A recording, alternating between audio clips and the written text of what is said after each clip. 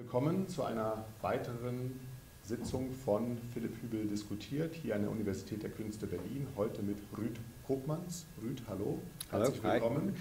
Hi. Rüd Kopmanns ist Sozialwissenschaftler und Migrationsforscher. Er ist Professor für Soziologie und Migrationsforschung an der Humboldt-Universität, Direktor vom WZB und einer der meistzitierten europäischen Sozialwissenschaftler.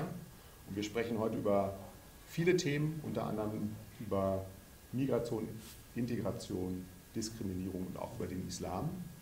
Und ich fand eine Studie von dir sehr spannend zum Arbeitsmarkt, die du vor ein paar Jahren durchgeführt hast. Da hast du geschaut, wie erfolgreich ist eigentlich jemand, wenn er sich bewirbt mit einem Lebenslauf am Arbeitsmarkt. Und das ist eigentlich ein ganz raffiniertes Setup, weil dann sozusagen Fake-Lebensläufe losgeschickt werden. Vielleicht mhm. kannst du so ein bisschen mal erzählen, wie geht man davor als Sozialwissenschaftler, um Diskriminierung am Arbeitsmarkt ausfindig zu machen? Ja, das ist ein, ein, ein, experimentelles Design sozusagen, wo man systematisch bestimmte Merkmale von Bewerben variiert. Das war bei uns äh, war das, äh, das Aussehen. Also haben die, die Gelegenheit genutzt, dass in Deutschland man sich bewerben kann äh, mit Fotos, was in vielen anderen Ländern unüblich ist. Äh, und äh, wir haben die Fotos dann so variiert, dass manche der Bewerber ähm, ein schwarz-afrikanisches Äußeres hatten, andere ein asiatisches, äh, andere ein südeuropäisches, andere ein nordwesteuropäisches. Ähm, zweitens haben wir variiert, was die Religionszugehörigkeit war. Das haben wir natürlich nicht so ganz offensichtlich gemacht. Wir haben einfach im CV reingeschrieben, dass jemand aktiv ist in einem Verein. Und das war manchmal dann ein neutraler Verein oder ein christlicher Sozialverein oder ein islamischer oder auch hinduistische oder buddhistische. Ähm, und wir haben auch die nationale Zugehörigkeit, also die, Her die nationale Herkunft, ähm, auch wieder versteckt sozusagen im CV bei den Sprachkenntnissen, wo dann stand Deutsch Muttersprache äh, und zum Beispiel Türkisch zweite Muttersprache. Sodass deutlich ist, wo, woher jemand ursprünglich kommt, obwohl alle Bewerber waren in Deutschland geboren, hatten das gleiche Alter, alles, alles andere lässt man gleich und dann verschickt man einfach auf wirkliche äh, Stellenanzeigen, äh, verschickt man äh, Bewerbungen und schaut dann, wie viele davon zurückkommen und ob das nach diesen Merkmalen variiert. Und was kam raus? Ja, was rauskam, dass es tatsächlich äh, Variationen gab, äh, aber schon durchaus äh, nicht, so, nicht so ganz eindeutig. Ähm, zum Beispiel wurden Bewerber mit ein schwarzes Äußeres diskriminiert, die mit dem asiatischen Äußeren aber nicht. Ähm, also es ist, war nicht eine allgemeine Bevorteilung von Weißen zum Beispiel, ja. äh, sondern es war eine spezifische Benachteiligung von Schwarzen. Ähm, das gleiche bei Religionszugehörigkeit, da gab es auch keine Bevorzugung allgemein von christlichen Bewerbern, äh, die wurden sogar ein bisschen negativer gesehen als solche ohne Religionszugehörigkeit, Es gab auch keine Diskriminierung von äh, Bewerbern mit hinduistischen oder buddhistischen Hintergrund, aber wohl von solchen mit muslimischem Hintergrund.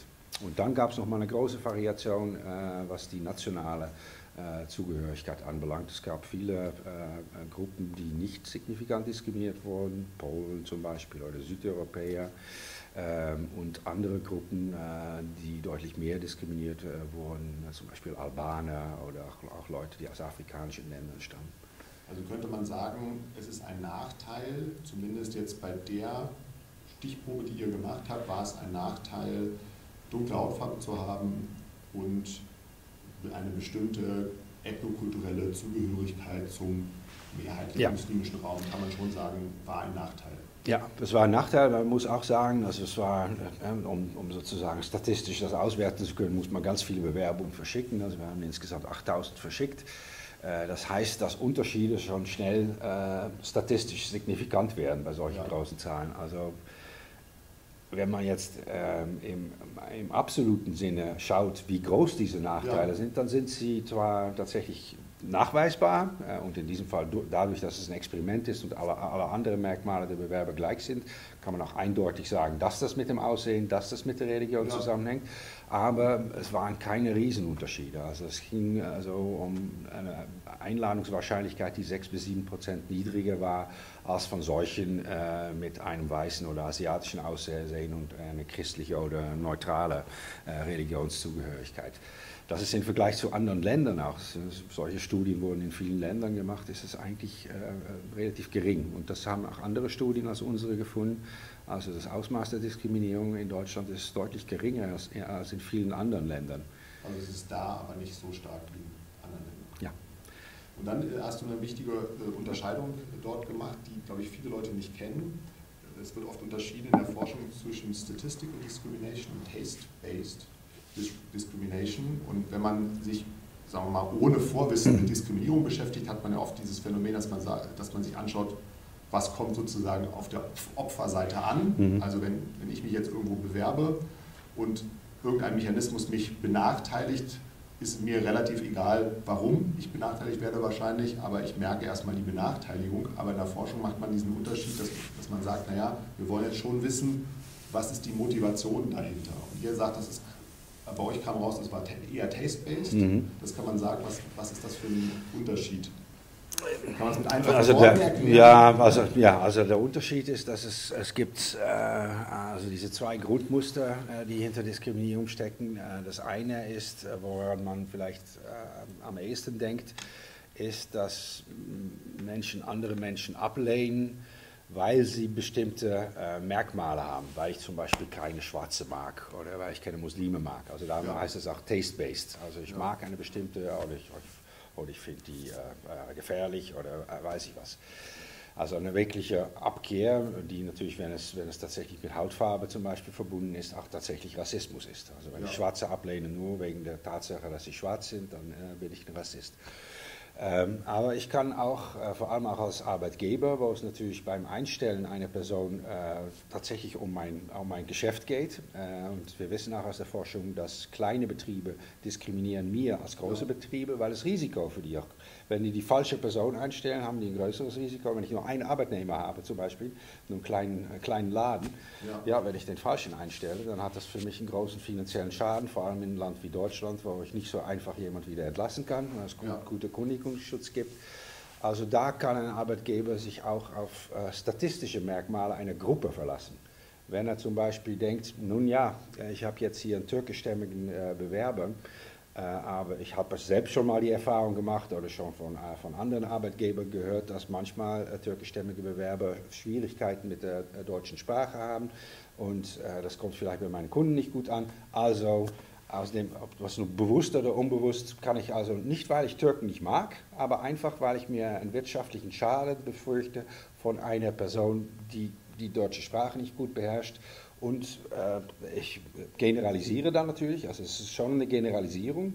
Und wenn es nicht stimmt, ist es auch noch ein Vorurteil. Aber äh, manche von diesen Vorurteilen stimmen auch durchschnittlich, statistisch, statistisch gesehen. Ja. Damit diskriminiert man natürlich gegen alle Türken, die wohl perfekt Deutsch sprechen.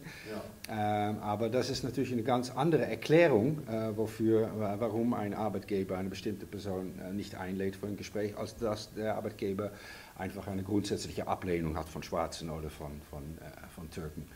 Und ich glaube, das ist nicht nur wissenschaftlich interessant, es ist auch für die Praxis relevant. Wenn ich, wenn ich Diskriminierung bekämpfen möchte, dann macht es sehr viel aus, ob ich zu, äh, zu tun habe mit, mit rassistischen Vorurteilen äh, oder ob ich zu tun habe mit solcher statistischer äh, Diskriminierung da könnte ich dann auch sagen, naja, dann wäre auch eine Lösung zum Beispiel, um Sprachkurse für Migranten zu verbessern, sodass ich diese Nachteile, die sie im Durchschnitt haben, sozusagen behebe und damit auch das Vorurteil äh, bekämpfe.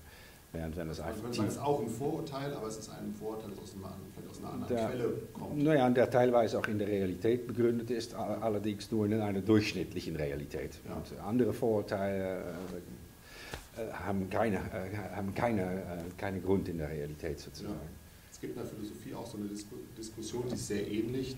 Die nennen das oft Proxy Discrimination, aber ich glaube, das ist Statistical Discrimination würde davon ein Spezialfall sein. Also mhm. wenn man eigentlich ein Merkmal tracken möchte und es ist mit einem anderen korreliert und nicht mal macht sogar mhm. das andere. Das wäre ja, ja, so. Ne? Also ja, ich ja. möchte jemanden, der sehr gute Sprachkenntnisse hat. Äh, ich möchte vielleicht äh, welche haben, die diejenigen ausschließen, die nicht so gute haben. Ich glaube, es ist korreliert, statistisch korreliert mit einem anderen Merkmal und dann versuche ich dieses Merkmal über das zu bekommen, mit ja. natürlich dem Nachteil, dass ich vielleicht übergeneralisiere. Ja. Und äh, nur ganz kurz eine Frage, weil ich, ich weiß nicht, das ist wirklich eine Frage, also eine philosophische Frage, vielleicht ist die auch gar nicht für die Forschung relevant. Aber ich habe mich immer gefragt, ob jetzt zum Beispiel in so einer Studie, wenn da rauskommt, ähm, dass zum Beispiel muslimisch sein ein Nachteil darstellt, ob das nicht auch eine Form von Proxy ist für viele Menschen, dass sie denken, naja, ich mag Muslime nicht, aber vielleicht nicht einfach nur, weil ich keine Muslime mag, sondern weil es wiederum für was anderes steht, ja, ja. nämlich für bestimmte Werte. Mhm. Weil es gibt sehr viele Untersuchungen in der sogenannten Moralpsychologie, die machen, das ist ein bisschen anderer Ansatz, die interessieren sich nicht so stark für Migrationsbewegungen, aber die machen diese Beobachtung, man möchte gerne mit Leuten zusammen sein, die die eigenen Werte teilen und es gibt da sehr viele Untersuchungen, das muss gar nicht etwas mit verschiedenen Herkünften zu tun haben, sondern das kann man auch innerhalb von einem Land zeigen. Also wenn Leute sehr ähnliche Werte haben, ist man gerne mit denen in einer Gruppe.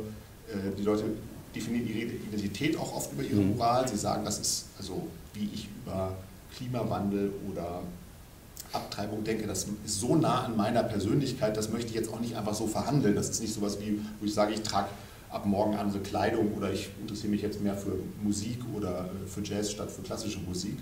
Und könnte das nicht sein, dass das auch so eine Art Proxy wiederum ist, den man halt erst ja. natürlich nicht so sieht? Ja, ja es könnte nicht nur sein, es ist auch genau, was wir gefunden haben. Also wir haben versucht, diese beiden Theorien, also Statistical und Taste, zu, zu äh, überprüfen. Äh, Statistical, indem wir geschaut haben, was sind die durchschnittlichen äh, Bildungsniveaus dieser verschiedenen Gruppen. Dann könnte man davon ausgehen, dass, äh, dass Arbeitgeber vielleicht generalisieren, dass eine, eine Gruppe, sagen wir mal türkischstämmige, die im Durchschnitt ein niedrigeres Bildungsniveau haben, dass auch äh, Bewerber, die eigentlich schon äh, ein gutes Zeugnis haben, dass dann, dann doch äh, der Arbeitgeber vielleicht implizit denkt, naja, der ist, kommt trotzdem aus einer Gruppe mit niedrigem Bildungsniveau, also deshalb vielleicht eher nicht geneigt ist, die Person einzuladen. Und das Zweite, was wir gemacht haben, um diese Taste äh, zu messen, ist, dass wir geschaut haben, was sind die durchschnittlichen Werte äh, dieser Gruppen. Das haben wir getan auf der Basis der ähm, ähm, globalen Wertestudien, die es gibt über die ja. verschiedenen Herkunftsländer. Da kann man auch Durchschnittswerte für muslimische Länder ja. oder für schwarzafrikanische Länder berechnen. Und äh, der Befund ist, dass diese Bildungsniveaus, äh, also die, der Indikator für statistische Diskriminierung, sehr wenig erklärt und dass tatsächlich es diese Werteunterschiede sind, die nicht nur die Benachteiligung von Muslimen erklären, aber auch die Unterschiede zwischen den nationalen Herkunftsgruppen. Also Menschen, die aus Ländern stammen, auch wenn sie nicht muslimisch sind, zum Beispiel christlich-afrikanische Länder, wo die Werte sehr unterschiedlich sind zu den Werten äh, in Deutschland die werden äh, stärker diskriminiert. Und damit lässt sich diese ganze äh, äh Diskriminierung von Muslimen äh, vollständig aufklären. Also es geht nicht um, äh, in, in, es ist in der Tat so eine Proxy für Werteunterschiede. Da kann man natürlich jetzt lange darüber diskutieren ob das dann zulässig ist. Also in vielen, das hast du schon gesagt, in vielen Bereichen finden wir das total äh, akzeptabel und tun wir das alle. Äh, zum Beispiel, wenn es darum geht, den Heiratsmarkt oder den Partnerschaftsmarkt, gehen mal auf, auf äh, Dating-Plattformen und so weiter. Äh, in, in den USA sind Leute sogar sehr explizit. Uh, single white female seeks uh, single white male or, or black white female, also blacks suchen Eine blacks. Eine große Untersuchung zu, wenn religious steht, ist es ein Nachteil am Datingmarkt ja. den Jüngeren unter 30. Ja, ja, also ist, Wäre wär sozusagen also, jetzt auch ein Proxy für irgendwas anderes. Da, da sucht, da sucht man sich Gleichgesinnte. Also ja. Leute schämen sich auch überhaupt nicht darüber zu sagen, dass die nur Hochgebildete daten wollen und so weiter. Das ist natürlich Klassendiskriminierung, kann man sagen. Ähm, also und sehr stark diskriminatorisches Verhalten im Alltag.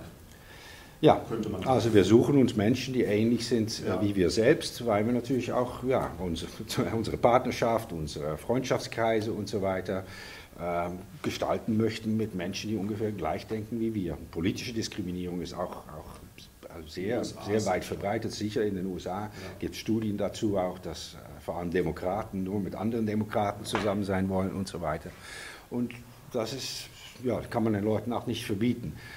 Äh, nun gibt es da ein Spillover äh, zu einem Bereich wie der Arbeitsmarkt weil ja. ja. Arbeitgeber sind auch Menschen äh, und auch die Belegschaft, äh, die anderen äh, Arbeitnehmer sind auch Menschen. Die wollen wahrscheinlich auch alle lieber zusammen sein. nehmen wir das typische Beispiel, ähm, was in England zum Beispiel äh, sehr geläufig ist, aber auch in Deutschland macht man das auch manchmal. Am Freitag äh, nach der Arbeit äh, geht man zusammen noch ein Bier trinken in der Kneipe. Nun, das wird ein bisschen schwierig, wenn man muslimische Arbeitnehmer hat, wenn, zumindest wenn die sehr gläubig sind. Das ist wieder so ein Vorurteil sozusagen, natürlich, dass der Indikator ist muslimisch. Ja.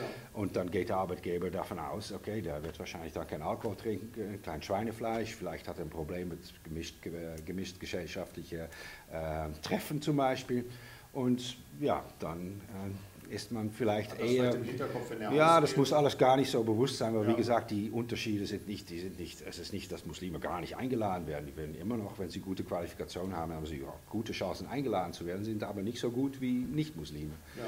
Und das kann durchaus auch ganz implizit sein. Ja, und du hast eine aktuelle äh, Untersuchung gemacht und hast gesagt, naja, ich schaue mir jetzt nicht nur an, den Arbeitsmarkt, weil das ein sehr spezieller Markt ist. Das ist ja nur so eine spezielle Gruppe von Leuten, nämlich die, die andere Leute einstellen. Muss man nochmal unterscheiden, sagst du ja auch ja. inzwischen, ist es eine große Firma und stelle ich für die große Firma ein oder stelle ich für meinen eigenen Betrieb ein, selbstständig versus Angestellte, das ist ein Unterschied. Und dann hast du aber mal geschaut, wie sieht es denn eigentlich in der gesamten Bevölkerung aus? Das ist ein relativ neues, ja. aber ich fand das sehr überraschend, ähm, weil da rauskam, dass die, also da wurde wieder die Frage gestellt, äh, wurde wieder unterschieden zwischen Name, äh, Phänotyp könnte man sagen, ja, das Aussehen. War das war genau das Gleiche. Gleich das Gleiche nochmal. Ja. Und da kommt raus, dass äh, die Bevölkerung in, insgesamt eigentlich recht positiv drauf ist, zumindest was das Aussehen mhm. betrifft. Kannst du das vielleicht noch kurz sagen? Ja, also, man erst nicht denken. Ja, also Arbeitgeber sind natürlich ein kleiner Ausschnitt ja. aus der Gesamtbevölkerung. Natürlich ein einflussreicher Aus, äh,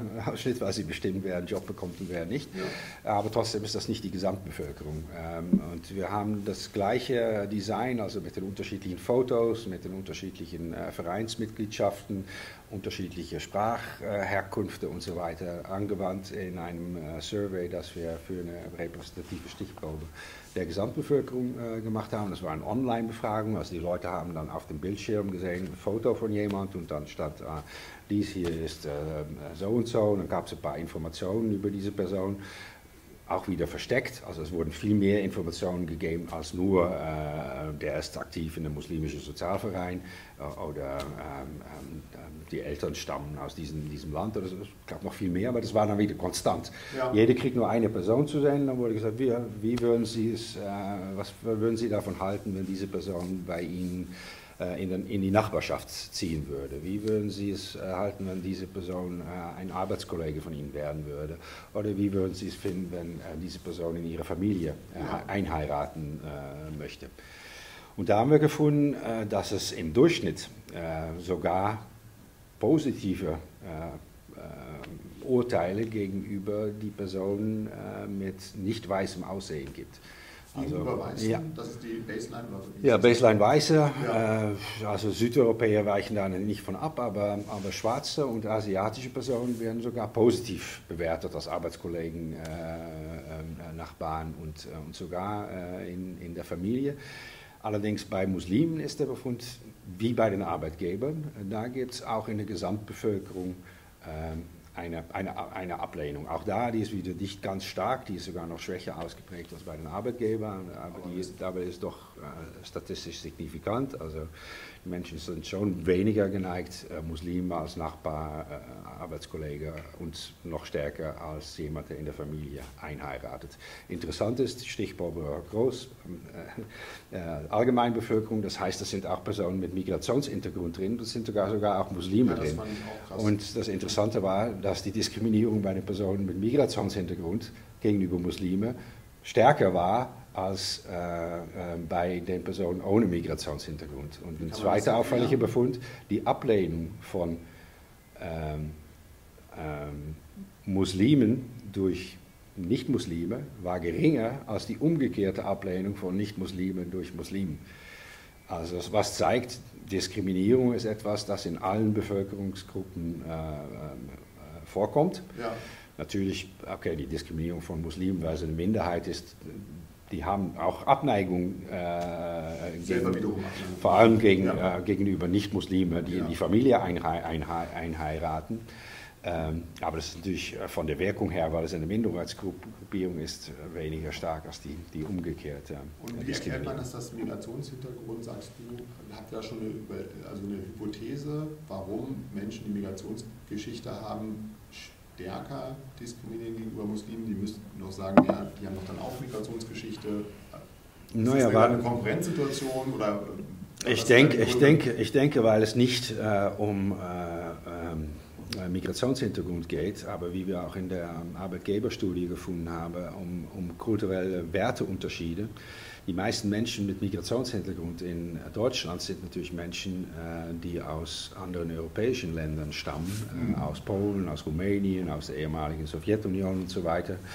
Das sind äh, Länder, äh, wo die Offenheit äh, für andere Kulturen weniger stark ausgeprägt ist als in Westeuropa. Ja. Also damit könnte das zusammenhängen. Also etwas konservativer.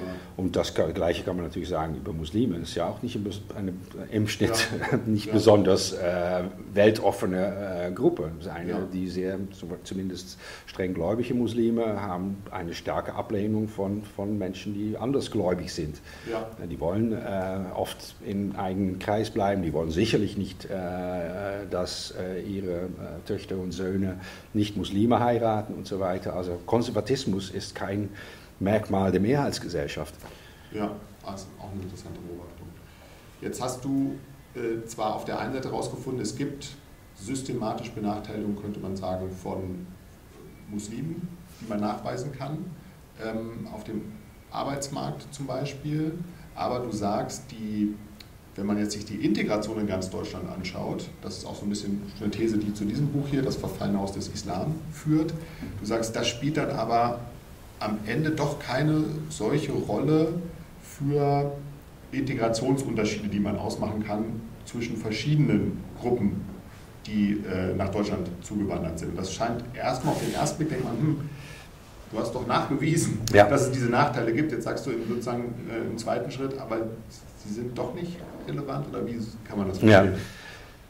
Ja, das, das, hängt damit, das hängt mit, damit zusammen, was ist die Aussagekraft von Experimenten. Also die Aussagekraft von Experimenten ist sehr groß, wenn es darum geht, äh, äh nachzuweisen, ob es eine bestimmte Kausalbeziehung gibt oder nicht. Also mit den Experimenten können wir zweifelsfrei nachweisen, dass Diskriminierung existiert äh, in, zumindest in Bezug auf bestimmte Gruppen. Und wir können auch zweifelsfrei ja. nachweisen, dass es in Bezug auf andere Gruppen nicht existiert.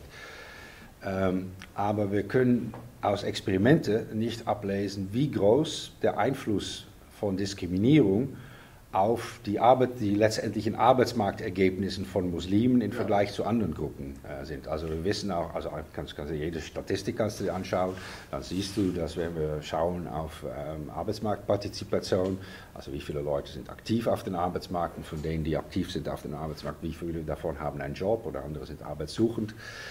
Da sind ähm, äh, Menschen, die aus muslimischen Ländern äh, stammen, schneiden deutlich schlechter ab als äh, andere Migrantengruppen ähm, und die wiederum schneiden schlechter ab als die deutsche Mehrheitsbevölkerung, sagen wir mal. Ähm, und die Frage ist, wie groß ist der Beitrag an der Erklärung dieser Unterschiede von Diskriminierung? Ähm, da, das kann man nicht aus dem Experiment äh, ableiten, das muss man mit anderen äh, Arten von Inst äh, Studien machen. Ja.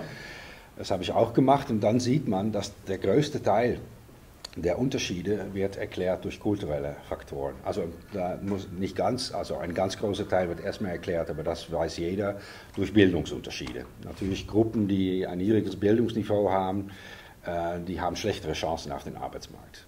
Und das, das gilt vielleicht das, der Unterschied zwischen ähm, Deutsche mit Migrationsgeschichten, die aus Iran kommen, versus Deutsche, die mit Migrationsgeschichte aus der Türkei kommen, weil da einfach oft die sehr groß, ja. Hintergründe unterschiedlich genau. waren. Das eine war eher Mittel- und Oberschicht, das andere war eher Arbeiterschicht, könnte man genau. sagen. Genau. Und das muss man dann also rechnet ja. man, das rechnet man dann raus. Da, das, das, das, erklärt äh, ganz viel, äh, aber es bleiben dann immer noch äh, ziemlich große Unterschiede übrig und die werden dann gewöhnlich an Diskriminierung zugeschrieben, ohne dass das eigentlich nachgewiesen ist. Aber ja, wir können es nicht durch Bildung erklären, also muss es dann wohl Diskriminierung sein ist oft die Annahme. Äh, aber wenn man noch mal zusätzlich kontrolliert für zum Beispiel Sprachkenntnisse, wenn man dafür kontrolliert, äh, wie viele äh, interethnische soziale Kontakte jemand hat, ja. Das ist nämlich ein ganz wichtiger Faktor auf den Arbeitsmarkt. Ne? Man hört oft über offene Stellen, äh, über Bekannte. Ähm, vielleicht sind auch Arbeitgeber im Bekanntenkreis. Ähm, man kann auch von Bekannten lernen, wie man sich am besten äh, aufstellt bei einem Bewerbungsgespräch. Also das heißt, wenn man keine Bekannten, also nicht so viele Bekannte in dem, in dem äh, Mehrheitsland hat, hat man nicht so gute Möglichkeiten, überhaupt erstmal den Arbeitsmarkt Nein, das nennt man Sozialkapital. Wenn man über geringes Sozialkapital verfügt, hat man schlechtere Chancen auf den Arbeitsmarkt. Das gilt übrigens genauso gut für äh, Menschen ohne Migrationshintergrund aus bildungsfernen Schichten. Ja. Ja, wenn die wenig Kontakte haben zu Menschen aus der Mittelschicht, dann ist das auch nachteilig für die Arbeitsmarktchancen. Vielleicht, wie man sich bewirbt und genau. Da hat man Verhaltensweisen, die einfach nicht gut ankommen bei ja. Arbeitgebern. Ja. Das, muss, das kann man lernen, von, von, wenn man Kontakt hat zu Menschen, ja. die wohl zur Mittelschicht gehören. Und so genauso ist es mit dem, mit dem Unterschied äh, Minderheiten und Mehrheitsgesellschaft. Äh, und der dritte Faktor, der eine Rolle spielt, die eine Rolle spielt für, äh, für Frauen, äh, sind die Einstellungen über Geschlechterrollen. Ähm, also wenn äh, Personen selbst oder ihre äh, Partner der Meinung sind, dass Frauen äh, zu Hause bleiben sollten oder dass zumindest Frauen mit kleinen Kindern nicht arbeiten sollten, mhm. dann erklärt das einen ganz erheblichen Teil der Tatsache, dass Frauen aus muslimischen Gruppen zum Beispiel viel weniger aktiv sind auf dem Arbeitsmarkt äh, als Frauen aus anderen Migrantengruppen und Frauen in Mehrheitsgesellschaft. Also insgesamt, wenn man die, die drei Sachen zusammennimmt, also Sprachkenntnisse, soziale Kontakte und Geschlechterrollenverständnisse, kann man da den großen Teil der Unterschiede mit erklären. Das bleibt, okay. ja. und bleibt dann vielleicht immer noch ein, also ein kleiner, das ist dann, zumindest in der Studie, die ich gemacht hatte, war das jetzt nicht mehr statistisch signifikant, aber es bleiben noch kleine Nachteile übrig, die tatsächlich durch Diskriminierung erklärt werden könnten. Äh, aber der Beitrag ist, ist relativ gering. Also das sind, äh, Und könnte es eine Wechselwirkung geben zwischen, also was ja oft Leute sagen, ist, naja, wenn, wenn ich sozusagen von klein auf merke, dass ich ohnehin zu denen gehöre, die am stärksten abgelehnt werden, könnte mich das vielleicht beim Lernen hindern oder solche Diskriminierungserfahrungen können sich aufsummieren, sodass sie sich vielleicht auswirken langfristig in anderen Bereichen, zum Beispiel beim Bildungserfolg oder mhm. beim Bildungsaufstieg vielleicht auch, ohne dass man es jetzt so festmachen kann, dass man sagen kann, schau mal, ja. wenn ich das nebeneinander lege, die anderen haben es doch auch geschafft. Ja, das, das, das, das, das ist tatsächlich möglich. Das nennt man so vorgelagerte Diskriminierung. Es kann sein, dass man durch Ablehnung in der sozialen Sphäre zum Beispiel tatsächlich nicht die Gelegenheit hat, ja. die deutsche Sprache gut zu lernen. Oder dass es teilweise auch die Ablehnung äh, durch die Mehrheitsgesellschaft ist, die dazu führt, dass man weniger soziale Kontakte hat. Ja. Warum es, warum es hier geht, ist, dass wenn es darum geht, die Nachteile auf dem Arbeitsmarkt zu erklären, ja. dann werden die nicht durch zumindest nicht zu einem großen Teil erklärt durch Diskriminierung auf dem Arbeitsmarkt. Also man müsste Folgestudien äh, betreiben, um äh, ob davor schon was schiefgelaufen ist. Zum Beispiel. Ob davor schon was schiefgelaufen ist. Das kann natürlich durchaus zum Teil so sein. Ich denke nicht, äh, was die Geschlechterrollenverständnisse anbelangt, zumindest sehe ich nicht, wie das da funktionieren sollte, dass durch Ablehnung durch die Mehrheitsgesellschaft die Vorstellung über Geschlechterrollen irgendwie ja, scheint nicht kausal. Das, ist, das scheint nicht sehr plausibel zu sein, ja. aber bei den anderen zwei kann das eine Rolle spielen. Du machst so eine Art, äh, vielleicht könnte man sagen, so etwas wie eine Minimalpaaranalyse. Du hast so ein paar Beispiele in deinem Buch, wo du sagst, ähm, wenn ich alles andere gleich halten will, ich kann ja kein Experiment machen. Hm dann sollte man sich Gruppen anschauen, die in vielen Hinsichten gleich sind. Also eigentlich wie bei deinem Experiment, wo, ja. wo es einfach durch die Historie sich so ergeben hat. Und da fand ich ein Beispiel sehr aufschlussreich. Ich hoffe, ich spreche es richtig aus. Gujarat oder Gujarat. Gujarat, ja. Gujarat äh, war ein Beispiel, wo du sagst, da kann man ziemlich genau sehen, vor etwa 70 Jahren sind aus einer Region in Indien mhm. ähm, Hindus und Muslime gekommen, die aber rein äußerlich oder von dem Namen für einen Engländer jetzt ununterscheidbar waren, dass man, man hätte jetzt nicht sofort sagen können, ah, das ist der Muslim und das ist der Hindu. Und jetzt kann man das vergleichen, die sind beide in den Arbeitsmarkt gegangen und sind seit 70 Jahren, sind das sozusagen zwei Minderheiten in England. Und was, was äh, zeigt das Beispiel? Ja, das Beispiel zeigt, dass es zwischen diesen äh, indischen Muslimen äh, und den indischen Hindus aus Gujarat große Unterschiede im Arbeitsmarkterfolg äh, gibt vor allem bei den Frauen. Also bei den Männern gibt es auch höhere Arbeitslosigkeit unter den muslimischen Männern aus Indien als unter den hinduistischen Männern. Ähm, aber vor allem bei den Frauen sieht man äh, eine viel, viel geringere Arbeitsmarktbeteiligung unter den muslimischen Frauen. Und das, das ist tatsächlich also ein, ein, natürliches Experiment sozusagen, was zeigt, dass es jetzt nicht durch irgendwelche Einwirkungen der Mehrheitsgesellschaft kommt, sondern dass es gegenüber zu tun hat mit den kulturellen Wertvorstellungen, äh, die zwischen diesen beiden Gruppen unterschiedlich sind. Ein anderes Beispiel, das ich im Buch beschreibe, ist das zwischen ähm, ähm, christlichen und muslimischen äh, Libanesen, die nach ja. Australien eingewandert sind. Sind alle während der gleichen Zeit, während äh, des libanesischen Bürgerkriegs nach Australien gekommen. Ähm, und auch von, von Bildungsniveau und so weiter her waren die Gruppen am Anfang äh, äh ähnlich. Äh, natürlich die kulturelle Distanz, zu, abgesehen von der Religion, natürlich zur australischen Mehrheitsgesellschaft auch ähnlich. Ähm, aber auch da sieht man das gleiche Muster, ein deutlich bessere Arbeitsmarktergebnisse für die christlichen Libanesen und auch da wieder vor allem äh, bei den Frauen.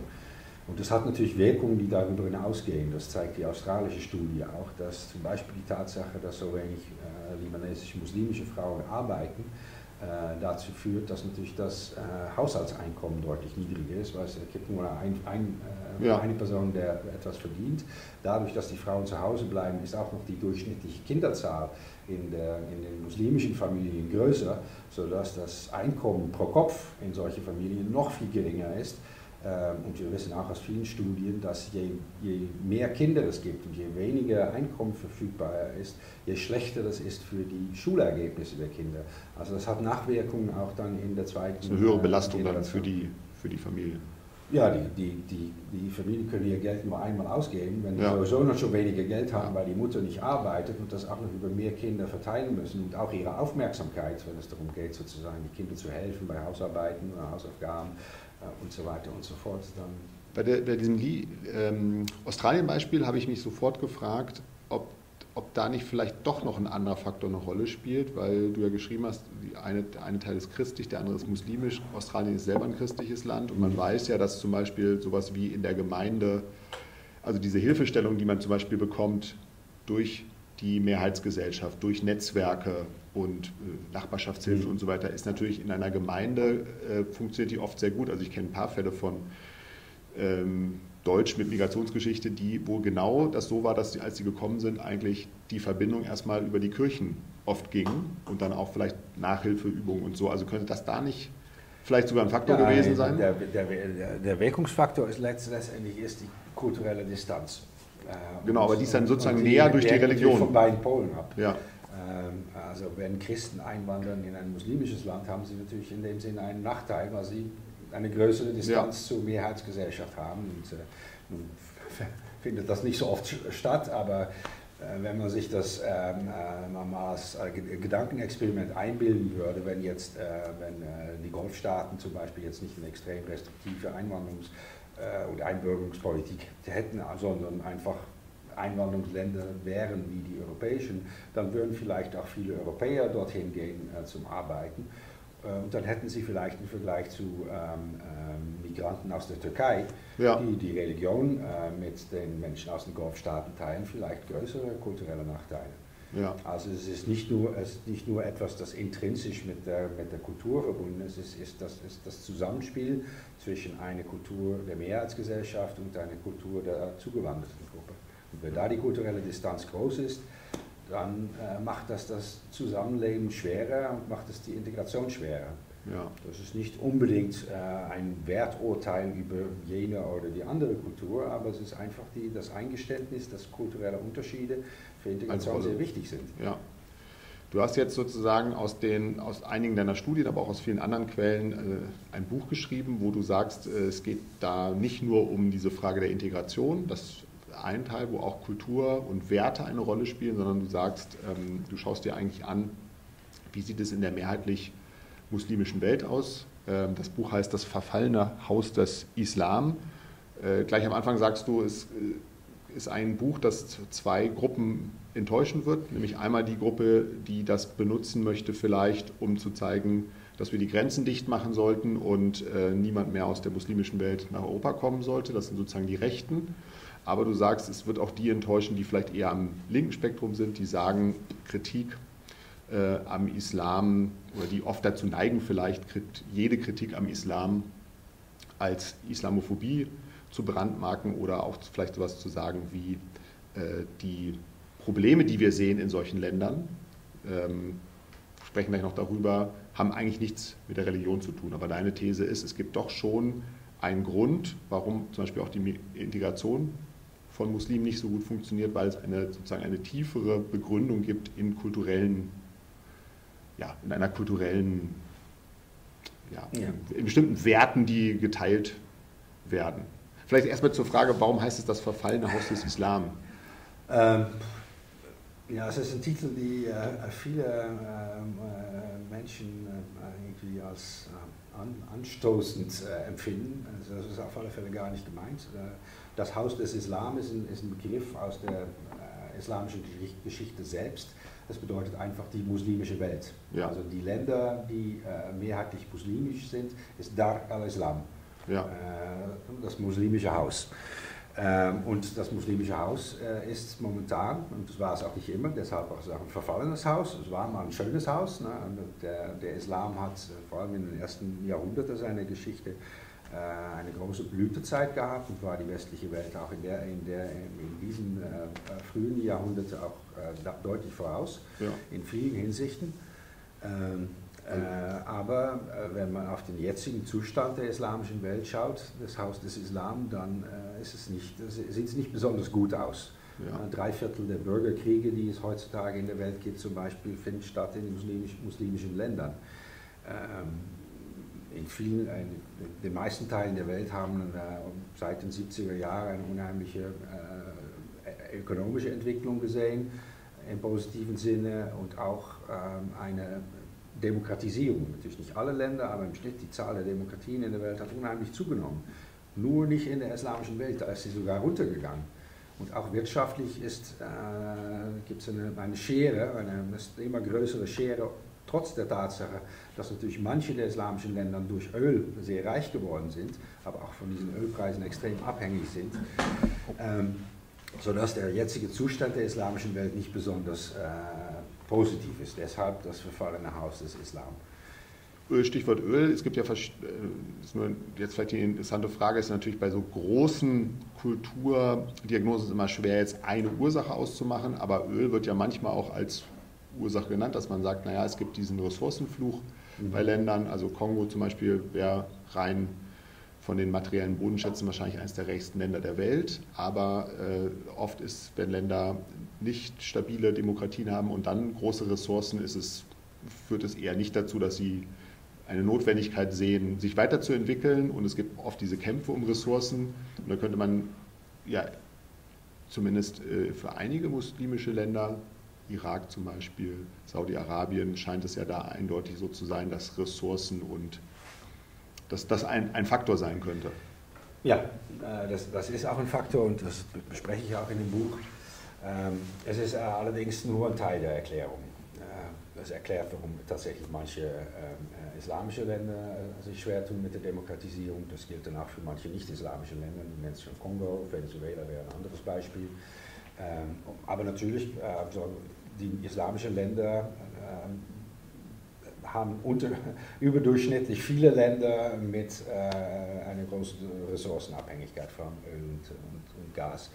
Das Problem ist aber, dass diese, diese Probleme der islamischen Welt sich nicht nur äh, in diesen Ölstaaten vortun, sondern auch in äh, Teile der islamischen Welt, äh, die überhaupt nicht stark von natürlichen äh, Ressourcen abhängig äh, sind. Ich nenne mal die Türkei zum Beispiel, das ist ein Land, das viele Öl- und Gasvorkommen hat trotzdem äh, sich in einer stark autoritären Richtung entwickelt hat. Obwohl sie ja mal die Türkei. Pakistan, Afghanistan, ja. Bangladesch, das sind alles keine Ölstaaten, die haben keine natürlichen Ressourcen, trotzdem haben sie die gleichen Probleme. Also ein Teil der Erklärung ist es schon, aber äh, aus einem etwas anderen Grund. Äh, und das ist auch die Hauptthese des Buches, ist nicht, äh, dass diese Probleme durch den Islam oder irgendetwas Unabänderliches, Ewiges, das den äh, Islam in, inhärent sein sollte, verursacht wird, ja. sondern durch eine, ganz konkrete historische Entwicklung. Und das ist ähm, den Aufmarsch des islamischen Fundamentalismus. Also das hat angefangen äh, Anfang des 20. Jahrhunderts, vor allem nach dem Zusammenbruch des Osmanischen Reiches. Ähm, wo, äh, das war natürlich für, für viele Muslime äh, das endgültige Beweis, dass die islamische Welt in eine Sackgasse gelangen war. Äh, das große Osmanische Reich brach zusammen, mhm. den Khalifen, der Sultan war auch das religiöse Oberhaupt der muslimischen Welt, der wurde von Atatürk abgesetzt und von, von der ganzen alten Glorie war nichts mehr übrig. Und viele Muslime stellten sich die Frage, ja, wie kann das sein? Äh, und eine Antwort war sozusagen, den Westen zu kopieren. Das taten die, der Schah von Iran und Atatürk. Also eine Sache kopierten die nicht, leider. Das war Demokratie, Menschenrechte ja. und so weiter. Ähm, die übrigens in der Zeit auch im Westen nicht so weit verbreitet waren. Ja. Weil man muss nicht vergessen, diese 20er, 30er Jahre war die Zeit des Faschismus. Also Atatürk war ein Bewunderer von Mussolini zum Beispiel. Also das waren die westlichen Vorbilder damals waren ja auch nicht so ganz toll. Ähm, aber die andere Antwort war der islamische Fundamentalismus. Das war die Idee, die islamische Welt, äh, um seine alte äh, Grandeur zurückzubekommen, müsse man zurück zu den Wurzeln des Islam. Man müsse wieder genauso wie in der Zeit von Mohammed äh, die Regel der Scharia äh, buchstäblich anwenden und dann würde auch äh, die alte Reichtum, die, die alte Macht der islamischen Welt zurückkommen. Und das ist eine Bewegung, ähm, die vor allem seit den 70er Jahren äh, in der islamischen Welt sehr, sehr einflussreich geworden ist. Also 1979 ist das das Jahr, Schlüsseljahr. Äh, das Schlüsseljahr. Da gab es der, der Revolution in den Iran. Ähm, äh, es gab den Anfang äh, des Bürgerkriegs in Afghanistan äh, und äh, es gab auch ein ganz wichtiges Ereignis in Saudi-Arabien, ein Versuch, das Regime zu stürzen durch eine Gruppe von Dschihadisten, die die große Moschee von Mekka besetzt hatten. Zwar wurde der Aufstand blutig niedergeschlagen, aber es war ein, ein entscheidender Moment für Saudi-Arabien. Und äh, Saudi-Arabien hat dann seitdem versucht, seine Legitimität sozusagen äh, zurückzugewinnen, indem man äh, die Art von fundamentalistischer Islam, die traditionell dort schon sehr stark war, in der Welt verbreitet hat. Und das haben auch andere. Äh, das ist so eine Abwehr, Abwehrstrategie durch in Kooperation. Ja, es gab eine starke ähm, fundamentalistische Opposition und das Regime, um zu zeigen, äh, dass sie äh, äh, strikt in der Lehre sind sozusagen, haben auch tatsächlich versprochen an den äh, islamischen Geistlichen, dass sie mehr Geld stecken würden in die Verbreitung des Salafismus in der Welt. Das haben sie auch getan. Also sie haben Leute nach Afghanistan geschickt, äh, um dort in den Bürgerkrieg gegen die äh, Sowjets zu kämpfen und damit den, den Fundamentalismus nach, nach Afghanistan äh, exportiert, aber auch in anderen Ländern der muslimischen Welt bis auf den heutigen Tag. Also wenn man in diesen Ländern äh, reist, von, von, von, Senegal bis Malaysia oder auf dem Balkan, überall sieht man neue Moscheen und oft ist ein Schild auf so einer Moschee, wer das gebaut hat. Steht drauf Kuwait, Katar, Saudi-Arabien und so weiter. Und wenn du auf den Balkan gehst, in, äh, in jüngster Zeit auch Türkei.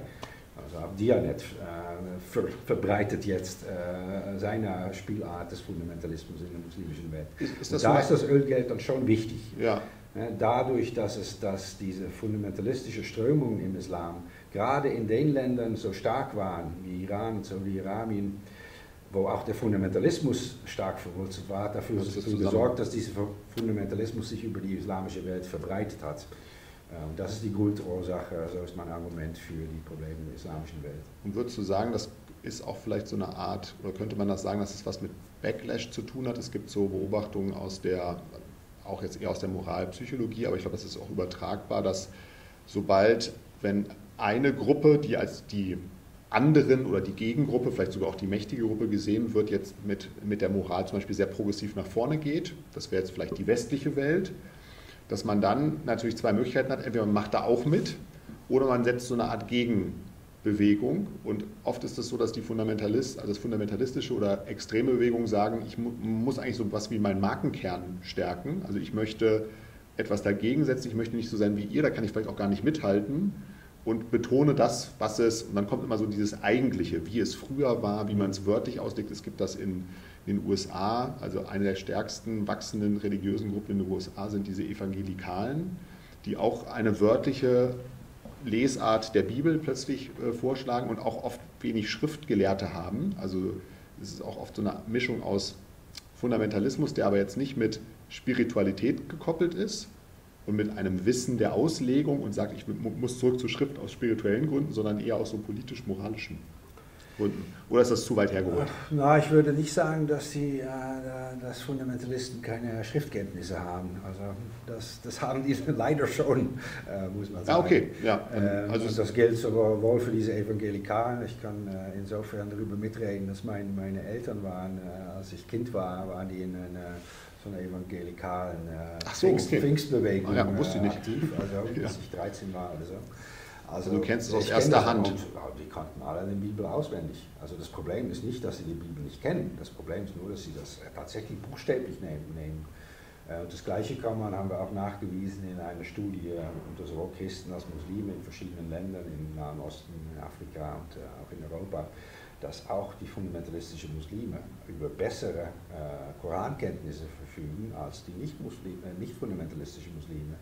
Also es ist ein absolutes Missverständnis. Es wird oft gesagt, ach, die kennen doch den Koran. Also im Gegenteil. Im Gegenteil, die Umso. kennen den nur allzu gut. Und die, ja. das Problem ist nicht, ob sie ihn gut kennen oder schlecht kennen. Sondern die das Problem ist eine bestimmte Interpretation, dass man das wörtlich nehmen sollte. Das, das ist das Problem.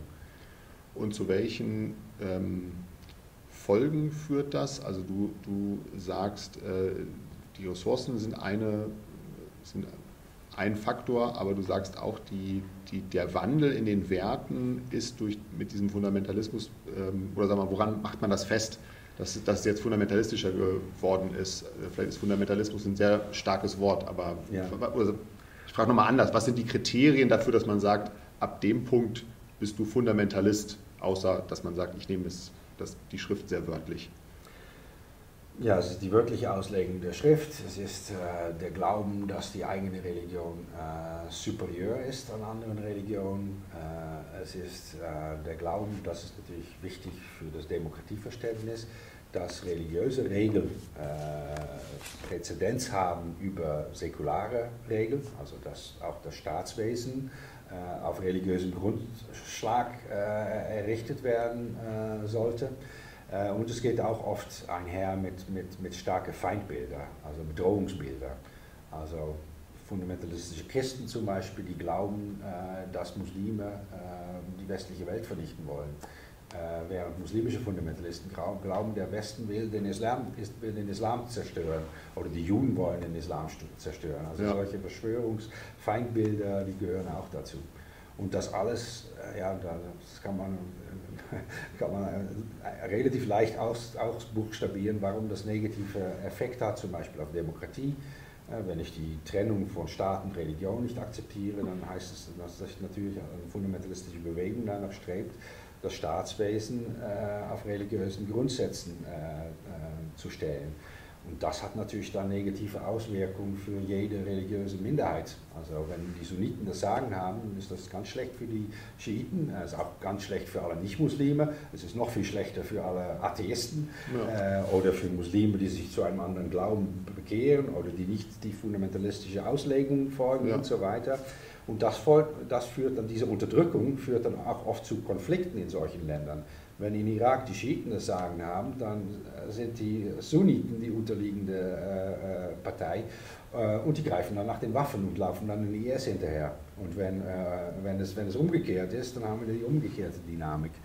Oder auch in Ägypten, äh, wenn da die Fundamentalisten an der Macht sind, dann fangen sie an, die Kopten zu unterdrücken, dann fangen sie an, die, die säkularen Ägypter zu unterdrücken, die dann wieder ein Al-Sisi unterstützen, um äh, mittels eines Staatsstreichs dann die Fundamentalisten in den Knast zu stecken. Ja. Äh, also Fundamentalismus hat sehr viele Folgeerscheinungen, die zu noch mehr Konflikten ja, führen. Und all das ist natürlich auch schlecht für die Wirtschaft, also fehlende Demokratie, Autoritarismus, Bürgerkrieg und so weiter hat auch negative äh, wirtschaftliche Folgen und so weiter. Du hast ja diese, diese ähm, World Value Maps ähm, erwähnt, also seit 40 Jahren werden die Werte der Menschheit eigentlich in allen Weltregionen ermittelt und ähm, was mich damals sehr überrascht hat, als ich mich das erstmal beschäftigt habe und auch positiv gestimmt hat, ist ja, dass eigentlich sehr viele Länder so eine Modernisierungsbewegung durchmachen. Also man kann das eigentlich auf der ganzen Welt beobachten, dass Länder von Religion zu weniger Religion sich bewegen, jetzt etwas einfach gesagt, und von Kollektivismus zu Individualismus. Mhm. Vor allem, wenn sie wohlhabender werden, sich industrialisieren. Und wenn man manch, in deinem Buch streifst du das auch, den arabischen Frühling sieht zum Beispiel, da war es ja so, also gerade die jüngere Generation ist, ist ja liberaler oft als die ältere Generation.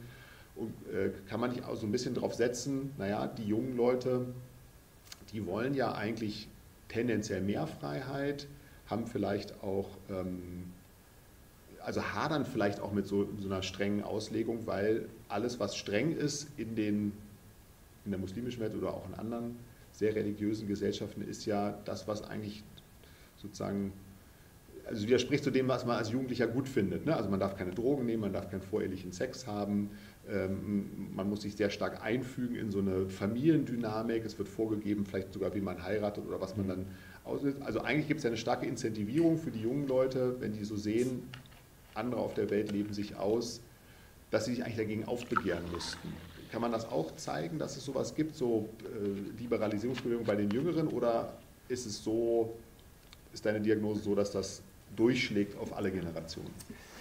Ja, jein würde ich sagen, weil das gibt es tatsächlich, äh, das was du beschreibst. Äh, das war natürlich äh, sicherlich auch am Anfang der treibende Kraft hinter dem arabischen Frühling. Also die Leute, die am Anfang auf die Straße gegangen sind, das waren jüngere Leute, liberal gesinnte Leute, säkulare Leute. Ähm, ähm, das hat sich dann oft im Laufe der Zeit geändert, als dann auch die Konservativen dazugekommen sind. Ähm, aber auf der gleichen, auf der, zur gleichen Zeit ist es auch so, dass gerade die fundamentalistische, die fundamentalistische Bewegung und vor allem, vor allem die radikalere Teile davon, die dschihadistischen äh, Bewegungen, auch sehr große Unterstützung unter der jüngeren Generation haben. Also es ist eher, dass die junge Generation sehr gespalten äh, ist. Also äh, was man, was man äh, in den letzten Jahren sieht, äh, also das ist dann eher schon post-arabischer Frühling, ist, dass es Anzeichen gibt, äh, dass in manchen Ländern im Nahen Osten äh, in der jüngeren Generation es eine, eine Desillusion mit, mit Religion oder zumindest mit einer politisierten Religion gibt. Das basiert auf Umfrageergebnisse, da muss man, immer, muss man immer mit Vorsicht genießen, weil es sind natürlich Umfragen in autoritären Ländern. Ähm, auf der anderen Seite sind die Befunde ja nicht äh, positiv für die autoritäre Herrscher. Also zum Beispiel wissen wir das für den Iran, äh, dass viele junge Iraner äh, desillusioniert sind mit dem islamischen Regime. Äh, und ja, vielleicht birgt das Hoffnung für die Zukunft, aber ich, ich ja, ich, ich, ich zögere ein bisschen zu optimistisch zu sein, weil ich weiß noch sehr gut, wie optimistisch wir alle waren am Anfang des arabischen Frühlings und dachten auch alle, weil wir, wir sahen ja die, die Menschen da auf dem Tahrir Square und, und ja. ja. das sind Leute wie du und ich und die wollen das Gleiche, äh, aber am Ende, als dann die Wahlen kamen, dann haben doch die Fundamentalisten eine, eine riesen Mehrheit geschafft, sowohl in, in Tunesien als auch noch mehr in, in Ägypten. Äh, und äh, nicht nur unter den alten Leuten, weil das ist, das, das, also Ägypten, das ist ein Land, das fast nur aus jungen Menschen besteht. Ja, das sind fast alle jung. ähm, also, also da ist die Hoffnung dann äh, doch schnell äh, in sein Gegenteil verkehrt. Also natürlich hoffe ich, dass es, dass es jetzt diesmal anders kommt, aber sicher können wir uns leider nicht sein. Aber und der zweite Welttrend, ähm, äh, Feminisierung, gibt es ja auch noch diese Beobachtung, also dass äh, die Länder, wo sich Männer und Frauen eher annähern, ähm, in ihren Werten auch die erfolgreicheren Länder sind und meistens die Frauen ein bisschen progressiver als die Männer sind. Und ich habe eine Untersuchung ähm, mal gelesen von dem Welzel, die auch basiert auf den mhm. World Value Maps, dass, zu, dass vor allen Dingen, was ich interessant fand, in den europäischen Ländern, also Muslime, die in Europa leben, dass da die Frauen eigentlich, vor allen Dingen wenn die gebildet sind, dieselben Werte ungefähr haben wie die Männer, die nicht-muslimischen Männer, also mhm. relativ fortschrittlich sind. Und äh, ist das etwas, was man vielleicht beobachten kann oder vielleicht auch unterstützen könnte, dass es da äh, von Frauenseite eine, eine sozusagen progressiven Schub geben könnte, weil es auch oft, äh, ja, also, weil dann die, die Männer vielleicht sich dem auch annähern oder ist das auch so eine Art ja, könnte das, sein, aber keine Ja, na, es, also, es, gibt schon Hinweise in die Richtung, auch in den Forschungen, die ich selbst gemacht habe zu Fundamentalismus, dass tatsächlich muslimische Frauen weniger stark fundamentalistischer sind als die Männer.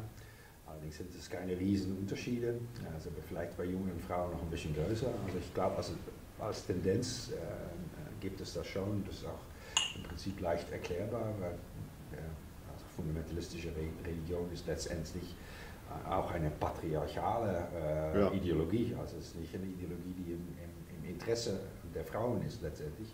Es ist eher eine Ideologie, die äh, dazu dient, die Frauen auf ihren Platz zu halten ja. und äh, die Privilegien der Männer äh, zu garantieren. Also in dem Sinne ist es, wundert es nicht, dass, dass Männer eher geneigt sind, das zu verteidigen, weil es einfach in ihrem Interesse ist. Aber andererseits äh, wissen wir auch aus der Religionssoziologie, äh, auch für christliche Religionen, dass oft die stärker Gläubige äh, und die kirchlicheren Katholiken zum Beispiel sind die Frauen. Also das scheint erstmal paradoxal aus. Die katholische Kirche kann man jetzt nicht sagen, dass das ein feministisches Institut ist. Nicht aber, richtig. aber trotzdem, äh, also das heißt, ja, Religion ist, Religion ist ein sehr starkes Ding, ähm, das, das dazu führen kann, dass Menschen ja, offensichtlich gegen ihre eigenen Interessen handeln, zumindest so wie, wie wir die von außen wahrnehmen. Ja. ja die Religionen haben natürlich auch ein, ein, ein, ein eine bindende Kraft vielleicht. Ja, eine bindende Kraft. Die haben natürlich auch eine, die Ideologie, die hat dann auf, der, auf, ja, auf eine Art verquerten Weise dann auch eine Art von Wertschätzung für Frauen. Ähm, also in der, in der, katholischen Kirche die ganze Maria-Verehrung und so weiter, die, die, die Verehrung der Frau als Mutter, das gibt es natürlich auch im Islam, also die Frau, also den, den, den weiblichen Raum, also die Häuslichkeit und so weiter. Also gerade für wenig gebildete Frauen, äh, die zu Hause sind, ist die Religion auch eine Art von Wertschätzung. Also ja. wird zumindest so wahrgenommen. Es gibt, das sind andere Werte, die, ne? das sind nicht, nicht die, die, Werte, die wir vielleicht ja, äh, wie Selbstverwirklichung. es gibt die untergeordnete ja. Position, etwas Transzendentes, etwas Gottgewolltes. Ja. Ähm, also in dem Sinne, äh, es ist eine sehr starke Ideologie. Also Opium für das Volk, wie, wie Karl Marx es genannt hatte. Das ist auch Opium für die Frauen zum Teil. Ja, und ähm, ich will dann nochmal vielleicht bleiben, ich meine, das geht jetzt ein bisschen über das hinaus, aber ich, ich finde diese Beobachtung interessant. Äh, vielleicht hast du dazu auch äh, Theorien oder Studien, ähm, dass, dass es doch schon diese Männerlastigkeit bei diesen ganzen extremistischen Phänomenen gibt. Also egal, wo man hinschaut, ähm, Heidmeier nennt das gruppenbezogene Menschenfeindlichkeit, also dieses, diese Extremform von die Abwertung von anderen Gruppen, sei es fremde Religion, fremde Ethnie, fremder Clan, also man hat irgendein Merkmal, wertet das ab, man, man glaubt, es gibt so eine große Vergangenheit, die man verklärt. Es gibt so Vorstellungen von Reinheit, Abwertung von allem, was der Heterosexualität widerspricht, also Transsexualität, Homosexualität wird abgewertet, die Frauen werden unterdrückt, Hierarchie, Bruderschaft, dieses Zusammenhalten äh, wird hochgehalten. Und wenn man sich das so ein bisschen abstrakter anschaut, dann kann man das eigentlich auf ziemlich viele Gruppierungen, also mhm. Neonazis fallen ja. darunter, äh, fast alle fundamentalen Strömungen in Religionen denken so und es sind auch immer so männerbündnerische Sachen. Mhm. Also ist das schon so eine, kann man sagen, ist so eine Art Männer, ich bin fast geneigt zu sagen, toxische Männlichkeit, so ein Modewort ja, aus der. Das kommt mir langsam. Schon zu, ja. Ja, das kommt mir langsam über die Lippen, aber kann man das schon sagen, dass das, also sind Männer vielleicht sogar geneigter, darauf anzuspringen? Also natürlich einerseits, weil sie Vorteile haben, aber irgendwie scheint es sie auch zu überzeugen. Ja, aber ich glaube, man soll die Interessenkomponente nicht, nicht unterschätzen, auch in, im Rechtsextremismus äh, oder in, im Extremkonservatismus. Das sind natürlich auch Ideologien, die ja. die traditionelle der, der, des, des Mannes sozusagen aufwerten, ja.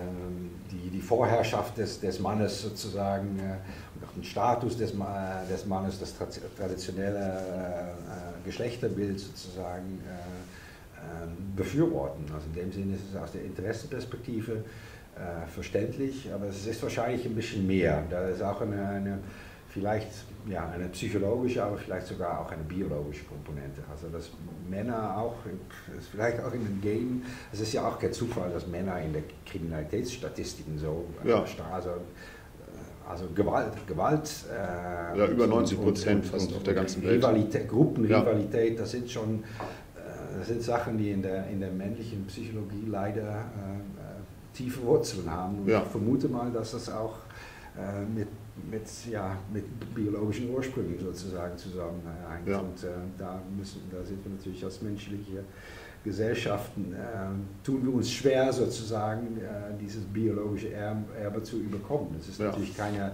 Zwangsjacke, das kann man natürlich schon ablegen, aber zu, zu, gleicher Zeit ist es auch da, äh, man kann es auch nicht äh, ignorieren. Ja. Also sollte sich dann mehr im Sport messen und in anderen genau. Sachen als Ersatz. genau.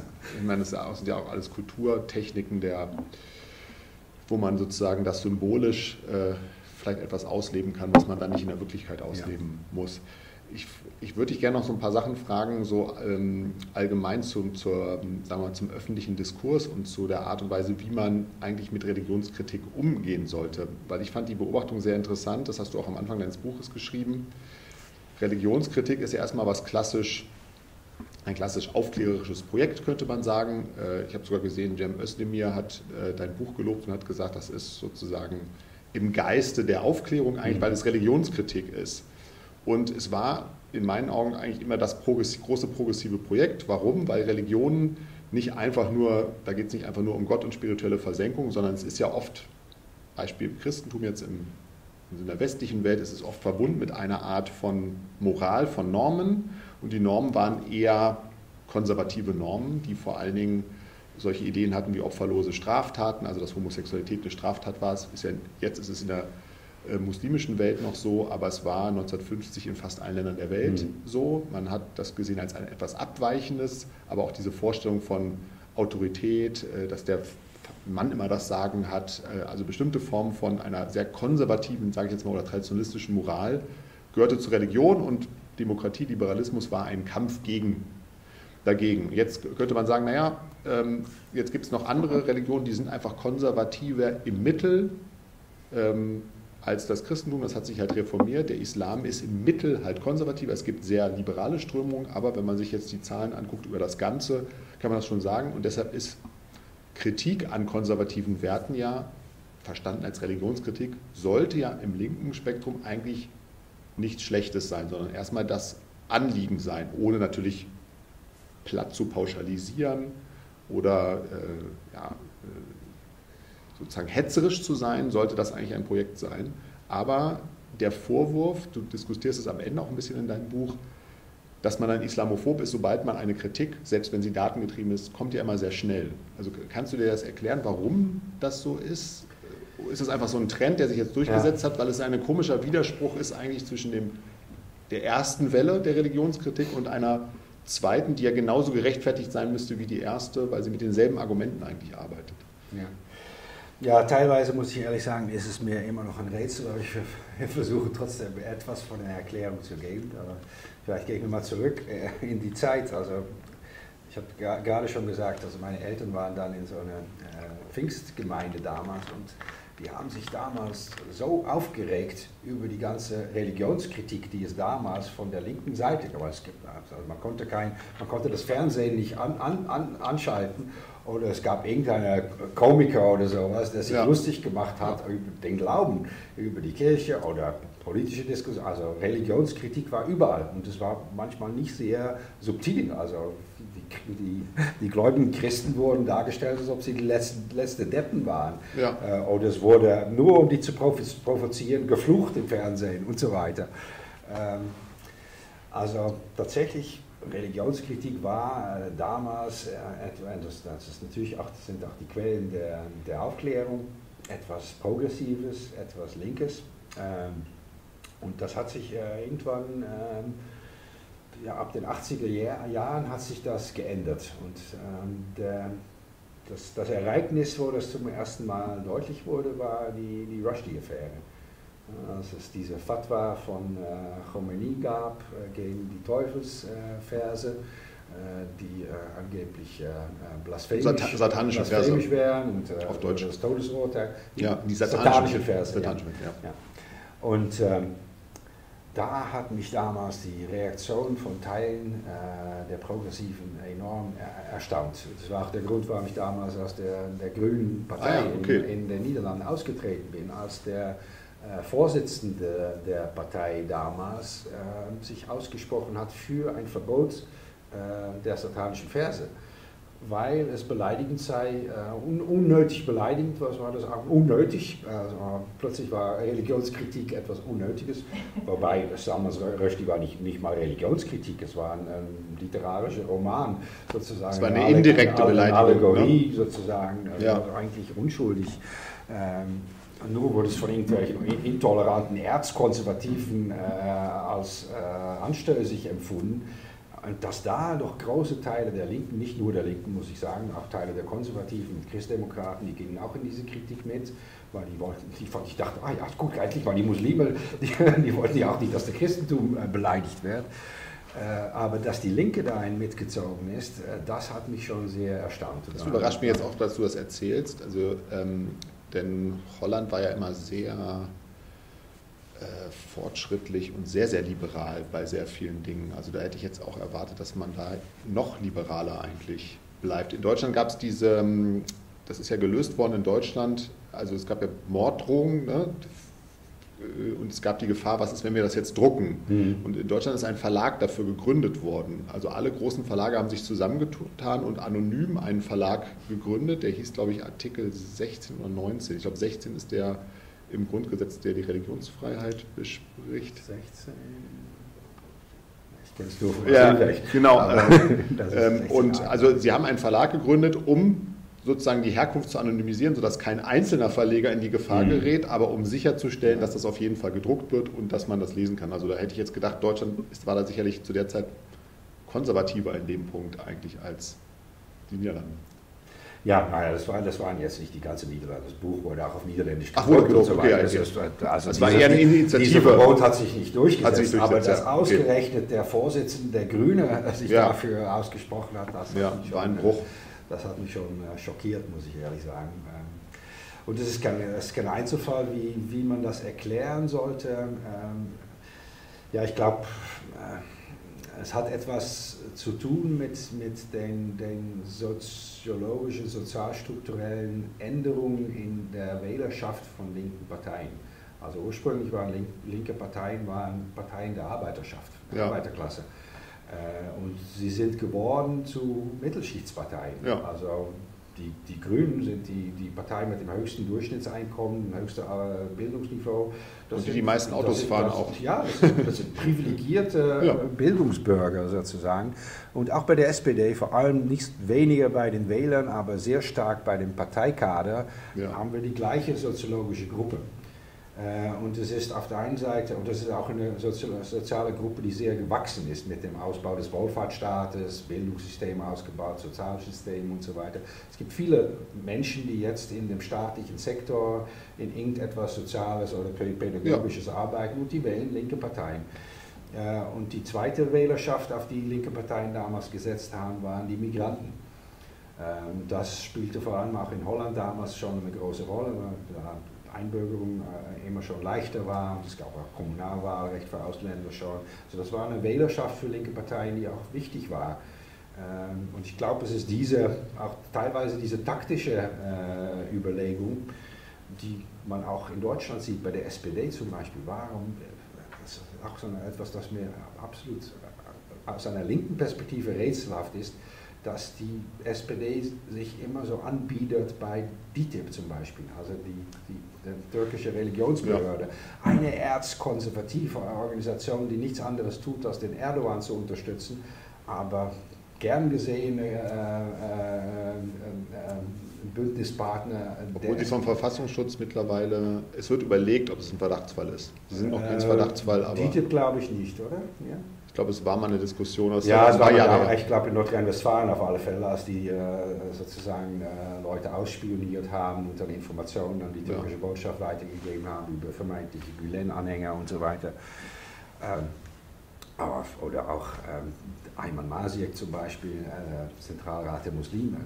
Ich ich meine, okay, da, natürlich haben die das Recht, sich zu organisieren, aber warum ausgerechnet die SPD sozusagen die Partei ist, die die besten äh, Verhältnisse zu einer Organisation hat, äh, wo zum Beispiel die, der größte Mitgliedsverband der Zentralrat der Muslime in Deutschland ist ATIP. Das ist eine extrem rechte, graue Wölfe türkische Organisation. Also was hat die SPD damit verloren, sich damit, äh, also das ist einfach äh, ist vielleicht die Angst, Wähler, Wählerkalkül. Meinst du, es ist nur Wählerkalkül oder ist es manchmal vielleicht auch die Angst, äh, man möchte auf keinen Fall sozusagen, also es gehört zum progressiven Denken dazu, dass man sich für, für Minderheiten einsetzt und für Schwache und die, die unterdrückt sind. Und wenn man sagt, naja, in, wir wissen, in Deutschland sind zum Beispiel Muslime, werden benachteiligt, sie werden diskriminiert, dass die dann sozusagen gesehen werden als vulnerable Gruppe und dass man dann nicht möchte, dass man, sobald man Kritik äußert, als jemand klingt, der jetzt eine vulnerable Gruppe angreift. Also das ist ja vielleicht so ein, wenn ich es noch kurz sagen kann, also es ist vielleicht so ein Problem, das, das ich oft sehe, also wenn äh, eine Kritik am, äh, am Islam oder an bestimmten Ländern oder bestimmten Praktiken wird ja schnell vereinnahmt von der rechten Seite, weil die, das schreibst du ja am Anfang deines Buches, die haben diese, diese, dieses Phantasma, äh, der Untergang des Abendlandes wird eingeleitet, wenn wir, wenn Muslime als Migranten nach Deutschland kommen. Ja? Und man ist jetzt in so einer Mittelposition, dass man sagen will, naja, in bestimmten Stellen möchte ich Religionskritik äußern, aber ich möchte verhindern, also ich habe mit denen nichts zu tun hier, die das sozusagen aus so einer komischen, aus so einem Kulturphantasma heraus machen. Und wenn ich jetzt hier in dieser Mittel bin und was Mittel ausgewogenes sage, ist aber die Gefahr groß, dass die das nehmen. Hm also verschiebe ich es vielleicht ein bisschen hierhin, weil dann ist die Gefahr nicht mehr gegeben. Also dann, dann habe ich sozusagen das eindeutige moralische ja. Signal, könnte man sagen, gesendet. Und das ist für mich so eine Beobachtung, ich weiß nicht, ob du das teilen kannst, aber in ganz vielen Diskussionen ist diese mittlere differenzierte Position, also man kann sie im Seminarraum haben, wenn man weiß, was, wie die Leute denken und man hat genug Zeit, aber sobald man weniger Zeit hat, wird die immer enger und enger und enger und man kann eigentlich nichts sagen, weil man immer denkt, wenn ich das jetzt sage, klingt das so wie das, aber das will ich nicht, sage ich vielleicht lieber das obwohl ich eigentlich hier bin. Ja. Ist das so ein, ja, vielleicht ein strukturelles? Solch, eine solche Dynamik gibt es natürlich. Ich glaube, du hast selbst ein, ein Seminar über Polarisierung. Äh, ja, genau. Also wir beschäftigen uns ganze da Zeit damit. Da geht es natürlich genau Also darum. eigentlich bei allen Themen kann man das immer, dass die das, Mittelposition Das sehen wir natürlich in der, in der Politik, dass es, dass es eine zunehmende Polarisierung, eine, eine, eine polarisierende Moralisierung äh, der Politik gibt. Also dass es auch äh, oft gar nicht mehr geht um, um sachbezogen ein bestimmtes Problem äh, zu lösen, zum Beispiel das Problem äh, von, von, von Integration und, und von äh, Rückständen auf dem Arbeitsmarkt und so weiter, dass man erstmal, äh, könnte, könnte man sich eigentlich darüber einig sein, dass, dass es im, im, Interesse von allen ist, dafür zu sorgen, dass Menschen mit Migrationshintergrund dieselben Chancen haben, denselben Beitrag ja. Äh, zur Wirtschaft leisten können und so weiter und so fort. Aber wenn man das Thema natürlich moralisiert, dann geht es oft gar nicht mehr um das Lösen des Problems, sondern nur um das Abstecken von Flaggen sozusagen, um eine Signalpolitik sozusagen, ja. also, äh, wo ich zeige, dass ich auf der richtigen Seite stehe. Und in, natürlich in einem so polarisierten Diskurs ist nichts ärgerlicher als Menschen, die in der Mitte stehen. Die ja. kann man nicht, das, das, ja. das ist nicht, nicht nützlich. Also jeder muss in eine von diesen beiden Lagern gehören. Und darum versuchen auf der einen Seite Leute, wenn du in der Mitte stehst, versuchen auf der einen Seite Leute dich in deinen Kampf, Kampf in ihrem Kampf, Kampflager äh, ja. Lager, äh, ja. äh, zu ziehen. Auf der anderen Seite versuchen auch Menschen, dich in ein anderes Lager zu, zu schieben. schieben. Ja. und da, da wird es dann ganz schwierig, da, äh, da stehen zu bleiben. Äh, in der Mitte. Also musst, die, die, Mitte wird durchgerüttelt. Du musst viel aushalten. Äh, und du Verstehe. musst äh, auch vor allem versuchen, ja, auf dein eigenes Kompass sozusagen zu fahren und dann mal zu versuchen, nicht zu viel zu hören auf, ja. was, was da alles gerufen wird. Ich stelle noch eine abschließende Frage. Du hast ja auch einen Ausblick. Also wenn wir das in der Metapher bleiben, das verfallene Haus des Islam, wie kann man deiner Meinung nach oder was muss passieren, damit das Haus wieder äh, sozusagen das schöne Haus wird oder das äh, heile Haus oder so. Also was, was wären so politische Maßnahmen oder was muss innerhalb des Islam passieren? Vielleicht auch, was könnte man in Deutschland machen? Was könnte, welche Bewegung könnte man unterstützen? Also was sind da so deine Reformvorschläge? Ja, nun, wenn, wenn, die, wenn die Ursache den Aufstieg des Fundamentalismus ist, dann liegt die Lösung auch in einem Abkehr vom Fundamentalismus. Das ist natürlich etwas, das in erster Linie in der islamischen Welt selbst passieren muss. Und da gibt es die, die, die vorsichtige Hoffnungszeichen, die wir, gerade, die wir gerade besprochen haben. Ähm, es könnte tatsächlich so sein, dass gerade in den Ländern, wo der Fundamentalismus äh, erfolgreich gewesen ist, äh, nehmen wir mal Iran als, äh, als Exempel, da gibt es mittlerweile äh, 42 Jahre von äh, fundamentalistischer Herrschaft mit nicht besonders äh, guten äh, Ergebnissen. Mittlerweile wissen die Iraner, was es bedeutet, unter einem fundamentalistischen Regime zu, zu leben. Und, ähm, ich vermute mal, dass, dass ähm, eine Mehrheit der Iraner genug davon hat. Mhm. Ähm, und natürlich ist es nicht so einfach, äh, ein autoritäres äh, Regime zur Seite zu schieben, ähm, aber irgendwann, wird's, irgendwann wird es passieren, denke ich. Also, ähm, und äh, also das ist die, die, also das, ist die Hoffnung, die wir haben müssen für die muslimische Welt, dann wenn es um, um, um Integration Muslime in Europa geht, das, da gibt es schon etwas, was wir tun können, um diese Entwicklung zu unterstützen. Äh, und das ist, dass wir die äh, Strömungen innerhalb von muslimischen Gemeinschaften, die auf eine, eine liberale, moderne Auslegung des Islam setzen, auf eine nicht patriarchale Auslegung, auf eine tolerante Auslegung, dass wir die unterstützen sollten und dass wir aufhören sollten, genau das Gegenteil zu tun. Das ist was, was wir in Europa äh, auf politischer Ebene zumindest bisher getan haben. Zusammenarbeiten mit, mit, mit äh, rechtsextremen, fundamentalistischen oder auf jeden Fall äh, erzkonservativen Strömungen innerhalb des Islam, die natürlich die stärkeren Organisationen haben, also der Staat und die Politik, die wollen, gerne, die wollen gerne jemand haben, um mit zu kooperieren und vielleicht auch jemand haben, um zu zeigen, wie weltoffen wir sind. Und da bietet sich der Ayman Masiak natürlich an. Ich gehe mit dir auf ein Foto, da kannst du zeigen, ich kann zeigen, wie, wie gut die Muslime es meinen und du kannst zeigen, wie gut du es mit äh, den Minderheiten meinst und da haben wir wieder ein Foto ab. Aber man stärkt damit äh, eine, eine konservative Strömung innerhalb des Islam, die auch überhaupt nicht repräsentativ ist, im Sinne von, wie viele Anhänger er dann eigentlich hat. Die Anhänger, die er hat, sind Rechtsextremisten. Ähm, also man muss, man muss äh, gezielt darauf setzen, andere, vielleicht kleinere, nicht so gut organisierte Teile der muslimischen Gemeinschaften äh, zu unterstützen.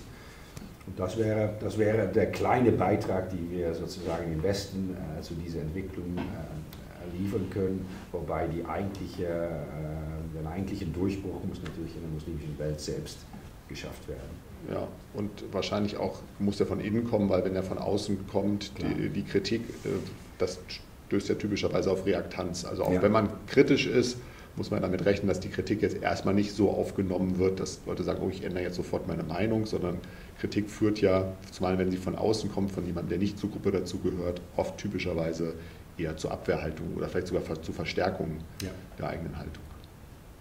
Ja, vielen Dank für das ja, äh, Gespräch. Fand ich, fand ich sehr, sehr aufschlussreich. Ja.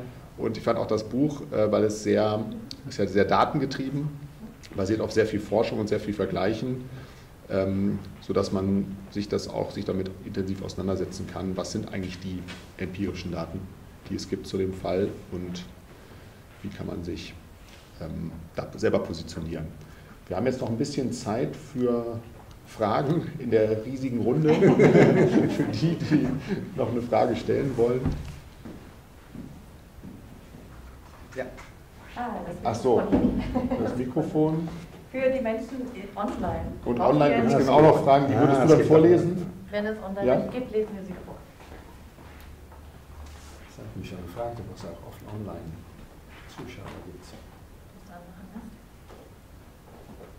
Hallo, hört man mich?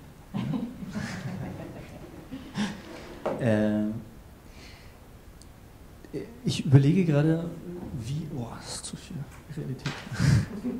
äh, ich überlege gerade, wie ist es eigentlich möglich, eine, eine neutrale Perspektive zu haben. Zum Beispiel, äh, du, du, hattest, du hattest gemeint, ähm, in, bei also 50 Jahre oder so im Iran, äh, die fundamentalistische Regierung, äh, aber man sieht ja, dass die Leute darunter leiden. So. Äh, wie, wo, wo, jetzt die andere Perspektive wäre, ach nee, nee, nee, wir, wir leiden ja gar nicht darunter. Das ist ja nur deine Perspektive, das so zu sehen. Wie ist es denn überhaupt möglich, da eine neutrale Perspektive zu haben oder eine neutrale Position zu haben? Äh, das ist nicht möglich, denke ich. Ähm, und muss man äh, aus meiner Sicht auch gar nicht sein. Also äh, es gibt natürlich Maßstäbe, die man anlegen kann, die im, Prinzip nicht neutral sind. Das sind die, das sind die Maßstäbe der Menschenrechte. Ähm, wenn ein Land nicht demokratisch ist, ist es aus dieser Perspektive gesehen schlechter, als wenn ein Land wohl demokratisch ist. Wenn ein Land Männer und Frauen gleich behandelt, ist es besser, als wenn ein Land Männer und Frauen nicht gleich behandelt. Wenn Homosexualität verboten ist in einem Land, ist es schlechter, als wenn es erlaubt ist. Das sind die Maßstäbe, ähm, die sind vielleicht nicht neutral, da werden Fundamentalisten sagen, ja, aber ja, unsere Religion sagt etwas anders. Nun, äh, da haben wir dann unterschiedliche Meinungen, aber ja, aus der Perspektive der Menschenrechte und äh, von Demokratie kann man ein Regime aus das äh, iranische äh, negativ bewerten. Ob die Menschen das dann selbst auch tun, äh, das ist natürlich eine empirische Frage. Da sage ich auch, es gibt äh, vorsichtige Hinweise aus Umfragen zum Beispiel, die zeigen, äh, dass es große Unzufriedenheit da gibt. Es gibt auch, aber das ist alles anekdotisch, was man hört über Menschen, die sich abkehren vom Islam, die den Islam gar nicht mehr praktizieren, die den, die den Zoroastrismus, der, der alte Religion von Iran, äh, äh, wieder äh, neu entdecken und so weiter. Ob das jetzt äh, ja, Einzel, Einzelfälle sind oder wirklich ein Trend, ist natürlich schwer zu sagen äh, in einem autoritären Regime.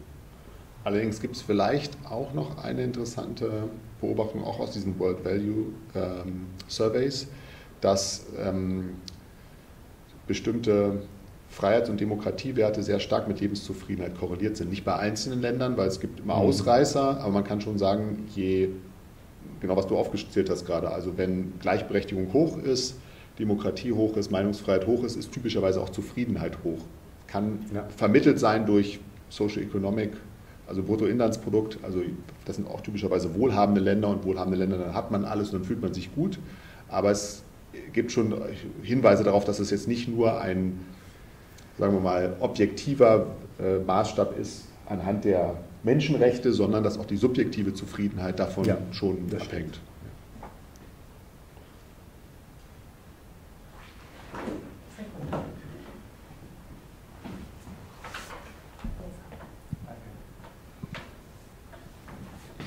Frage zu dem äh, Schutz von vulnerablen Gruppen. Da bist du gerade schon äh, drauf eingegangen.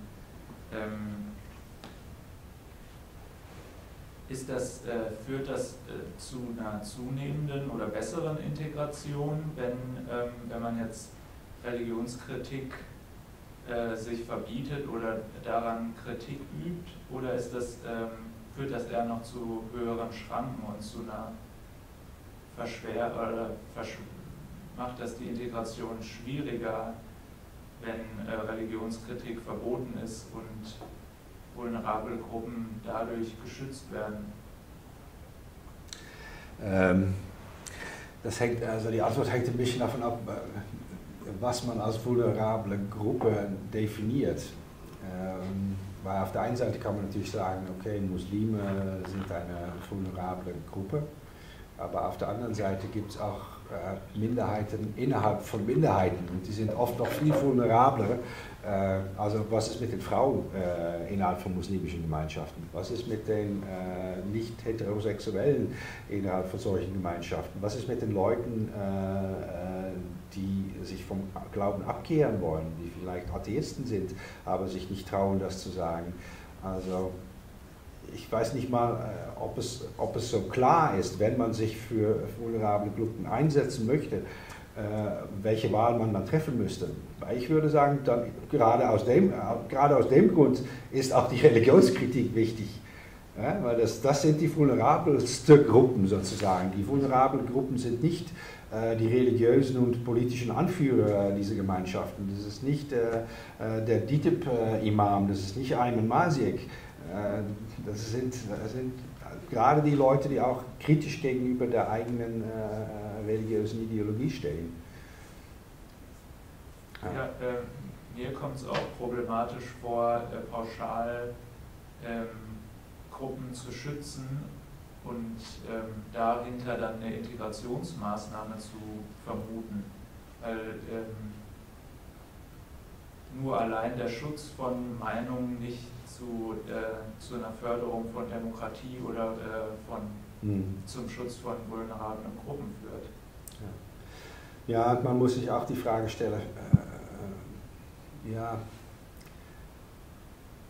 was das dann genau, genau äh, bedeutet, wenn man so umsichtig ist mit bestimmten religiösen Gruppen. Wenn man auf der einen Seite äh, sehr kritische Standards anlegt, wenn es äh, um das Christentum geht, und man dann plötzlich sagt, ja, wenn, wenn es um den Islam geht, dann, dann sollten wir das nicht tun. Das ist eine Art von äh, ja, Beschützung äh, aus einer überheblichen Position, vielleicht sogar aus einer einer neokolonialen Position, sozusagen eine Art von Patriarchalismus. Das ist auch, eigentlich nimmt man dann die Minderheiten nicht richtig ernst. Und man meint, dass die gleichen Standards, die man wohl für sich selbst anwendet, dass, die irgendwie, dass man das den, den Muslimen nicht zumuten kann. Mhm. Und also das, ist, das, ist, das ist eigentlich sehr paternalistisch. Mhm. Ja, schwer manchmal die Mitte zu treffen, ne? dass es dann umkippt. Ne? Man will auf der einen Seite ein bisschen vorsichtig sein, vielleicht, aber in dem Moment, wo man vorsichtig ist, unterstellt man schon, dass man die andere, der anderen Person, also es jetzt um Meinungsäußerung geht, vielleicht nicht jede Meinung zutrauen kann mhm. und hat sie dann damit sozusagen automatisch zu jemandem gemacht, der vielleicht nicht so voll autonom ist und mit, also zum Beispiel jetzt mal einen Witz vertragen kann oder so. Ne? Ja. Also, ja, das ist eine interessante Frage auf jeden Fall. Gehen wir das Mikrofon weiter. Ähm.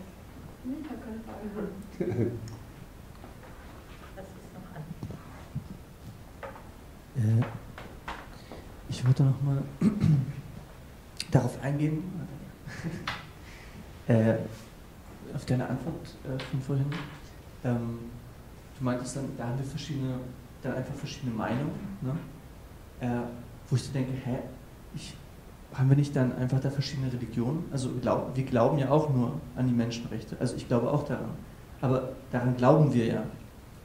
Äh, und da, das sind so die, die verschiedenen Glauben, die sich dann überhaupt nicht. Genau. Ja. Das ist so ein Wertepad. Genau, also die einen glauben an die Menschenrechte und die anderen glauben an die Religion und dann haben die halt beide ihre normativen Überzeugungssysteme. Beide haben ja. recht. Also, ja, haben beide recht. Aber gleichzeitig, dass die Frage. Ja, beide, meinen, ja. beide meinen, dass sie recht haben. Wer wirklich recht hat, äh, ja, weiß ich nicht. Also, nein, äh, nein du, kannst, du kannst nicht zur gleichen Zeit äh, Kulturrelativist sein und zur gleichen Zeit für die Menschenrechte einstehen. Also du musst schon eine Wahl treffen. Also ich glaube, da, da aus dem Dilemma führt nichts heraus. Also ich finde, äh, die Menschenrechte und Demokratie äh, und Gleichheit der Geschlechter und so weiter sind, sind, sind Werte, die es wert sind zu verteidigen und, offensiv zu verteidigen. Dass das nicht wertneutral ist, das ist mir durchaus bewusst. Äh, aber wir sollten uns nicht lahmschlagen lassen, zu sagen, wer sind wir, äh, um jetzt zu sagen, dass unsere Menschenrechte irgendwie besser sind als äh, äh irgendein religiöser Fundamentalismus das sind unsere Überzeugungen und in dem Sinne, ja, über diesen Kampf, an diesem Kampf führt äh, kein Weg vorbei, denke ich.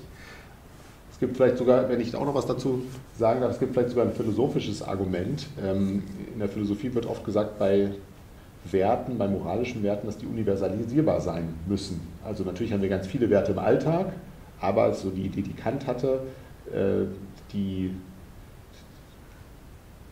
Werte, nach denen wir leben sollten, müssen welche sein, die für alle gelten, gleichermaßen und ähm, nicht nur für eine bestimmte Gruppe. Das heißt, sobald wir eine, eine Wertesystem haben, das sagt, du gehörst nur dazu, wenn du ein Mann bist, aber keine Frau, würden wir automatisch das nicht universalisieren können, weil wir nur einen Teil der Menschheit ähm, bevorzugen. Und du hast das, glaube ich, in deinem Buch auch gehabt, von Rawls gibt es dieses berühmte Gedankenexperiment des Schleier des Nichtwissens. Er sagt, naja, wann ist eine Gesellschaft gerecht?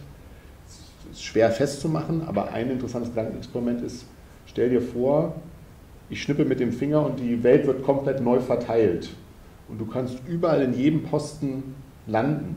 Also du bist vielleicht in der nächsten Welt, bist du dann eine Frau, die im Iran lebt oder du bist ein, ein Mann, der in Russland lebt und so weiter. Und wenn eine Welt gerecht ist, dann wäre dir egal, ob ich schnippe. Weil egal, ob du ein Mann oder eine Frau bist, in einer, in einer gerechten Gesellschaft würdest du die gleichen Chancen haben. Aber es ist uns ziemlich klar, dass wir viele Menschen nicht sagen würden, ich würde gerne in dieser, also ich würde das Risiko eingehen, als Frau zum Beispiel in, der, in einer sehr patriarchalischen Gesellschaft zu landen, weil da hätte ich ja sehr viele Nachteile. Und daran sieht man schon, dass man automatisch, ohne es vielleicht explizit zu sagen, nimmt man schon so ein bisschen so einen Universalismus an. Man unterstellt den eigentlich schon, auch wenn man manchmal so im Seminarraum sagt, naja, es gibt die Sicht und die Sicht und das ist eigentlich ein Pad an Intuition, aber man hat meistens dann doch sehr stark universelle Intuition. Das ist mein Eindruck.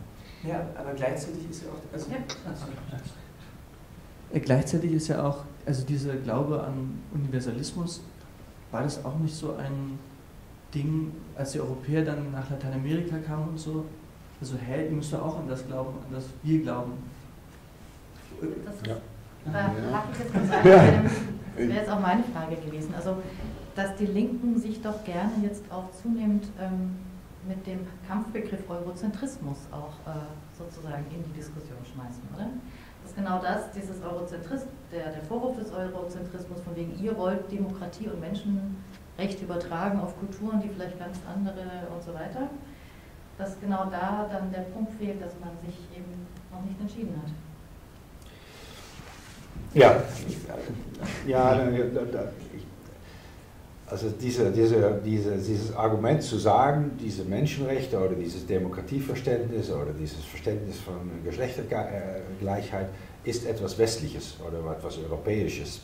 Also ich glaube nicht und es ist mir auch äh, irgendwie wurscht, äh, ob das nun so sein sollte oder nicht. Also sind tatsächlich, wie du sagst, sind, sind universelle Werte. Ähm, ob die jetzt einen westlichen Ursprung haben, vielleicht zum Teil, aber sicherlich nicht ganz. Ähm, die kann man, äh, man kann auch in die muslimische Tradition äh, Anknüpfungspunkte dafür finden oder in die jüdische Tradition. Äh, und ich kenne mich da nicht mit aus, aber wahrscheinlich in der buddhistischen und hinduistischen auch. Also im Prinzip ist das, das, ist, das, ist, das ist Eigentum der Welt sozusagen. Auf der anderen Seite hast du auch recht, dass natürlich auch die Religionen und auch die fundamentalistische Religion haben durchaus auch, auch einen universellen Anspruch. Also die, die, die sagen auch, dass sie universelle äh, Gültigkeit mhm. haben und auch, dass die, die Gesetze der Scharia gelten für jeden. Ähm, äh, und die wollen das auch äh, über die ganze Welt ausdehnen und wollen im Prinzip auch, dass alle auch Muslime werden. Die würden auch sagen, ihr seid ja herzlich willkommen, kommt, kommt zu uns. Äh, und unter den gleichen Regeln, als die für uns gelten. Also die sagen, die, die rühmen sich auch und, und zu Recht, dass zum Beispiel Islam eine nicht rassistische äh, Religion ist, weil es ist egal, äh, ob du schwarz oder weiß oder weiß ich was, solange du nur diese Prinzipien folgst, dann bist du Muslim. Ähm, also das hat auch einen bestimmten universellen Anspruch, aber nicht einen universellen Anspruch, der auf eine Regel der Gleichheit beruht. Die nicht Männer und Frauen gleich behandelt, die auch Menschen, die äh, nicht diese Regeln folgen, auch nicht äh, die gleiche Freiheitsrechte einräumt. Ähm, das ist natürlich das Spezielle äh, eine auf Menschenrechte und eine, eines liberalen Demokratieverständnisses ähm, ähm, äh, gegründete Auffassung, dass die auch die Menschen, die total andere Vorstellungen haben als, als deine, auch die Freiheit lässt, so zu leben, wie sie wollen. Dass es nicht eine, eine äh, Definition des guten Lebens gibt, äh, die einzig und alleine äh, zugelassen ist, sondern dass wir im Prinzip so viel wie möglich zulassen. Vielleicht nicht, gar, nicht, nicht alles, äh, da sind sich liberale Demokratien auch ein bisschen unterschiedlich. Die Amerikaner lassen mehr zu in, im Sinne von Freedom of Speech zum Beispiel als wir in Deutschland. Bestimmte Sachen aus historischen Gründen sagen, nein, das darf nicht gesagt werden. Und das ist im deutschen Kontext auch gut. Aber wir lassen ganz viel zu. Also, äh, das, das macht sozusagen dieser liberale Universalismus äh, zu einem ganz anderen äh, Animal äh, als der fundamentalistische Universalismus. Und ich glaube, wenn ich das noch ganz nur kurz ergänzen kann, ich finde, ich glaube, es hinter der Überlegung steckt auch oft so eine Art genetischer Fehlschluss, also dass man glaubt, die Sache ist bestimmt durch die Herkunft. Also nur weil Werte in vielleicht mehrheitlich sogar in Europa zum ersten Mal formuliert wurden, heißt das ja nicht, dass sie an sich europäische Werte sind. Das wäre so ein bisschen so, hängt natürlich davon ab, was man für eine Wertevorstellung hat, aber wenn man glaubt, es gibt sowas wie moralische Tatsachen, so die Menschenrechte wäre so ein Beispiel dafür, dann würde man sagen, das ist so ähnlich wie mit der Mathematik. Wir würden nicht sagen, die Mathematik ist indisch oder arabisch, mhm. weil ein Großteil der Mathematik oder die Zahlzeichen in der indisch-arabischen Welt entwickelt wurden. Oder wir würden auch nicht sagen, dass die Geometrie griechisch ist, weil Euklid sie zum ersten Mal formalisiert hat. Wir würden noch nicht mal sagen, vielleicht noch ein besseres Beispiel, dass, der, die, dass äh, gewaltloser Widerstand indisch ist, weil Gandhi gewaltlosen Widerstand praktiziert hat. Es gibt immer den ersten Moment, wo das vielleicht jemand verwendet als Mittel oder etwas erfindet, aber die Sache selber ist dann ein Kulturgut und da muss man eher diskutieren, äh, was sind jetzt die richtigen Werte oder wie müssen die gegeneinander aufgewogen werden, aber zu sagen, sie sind für sich genommen westlich, ja, es scheint mir ein Irrtum zu sein. Das verkennt eigentlich, was die Natur von Werten sind.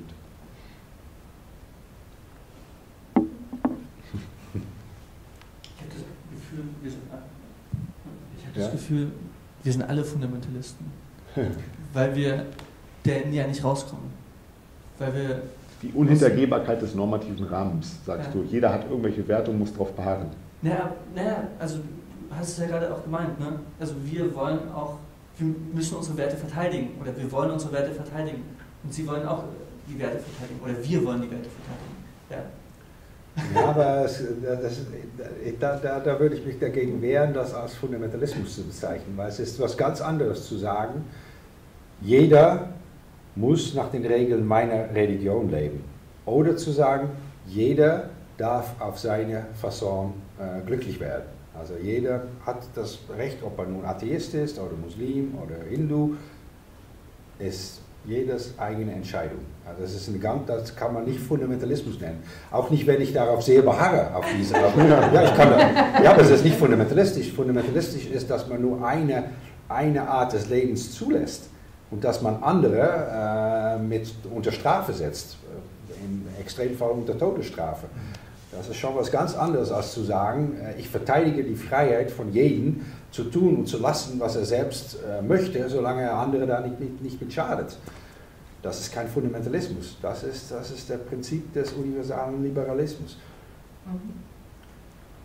Das ist eigentlich ein super Schlusswort. Ja. Wir enden auf dem liberalen Universalismus.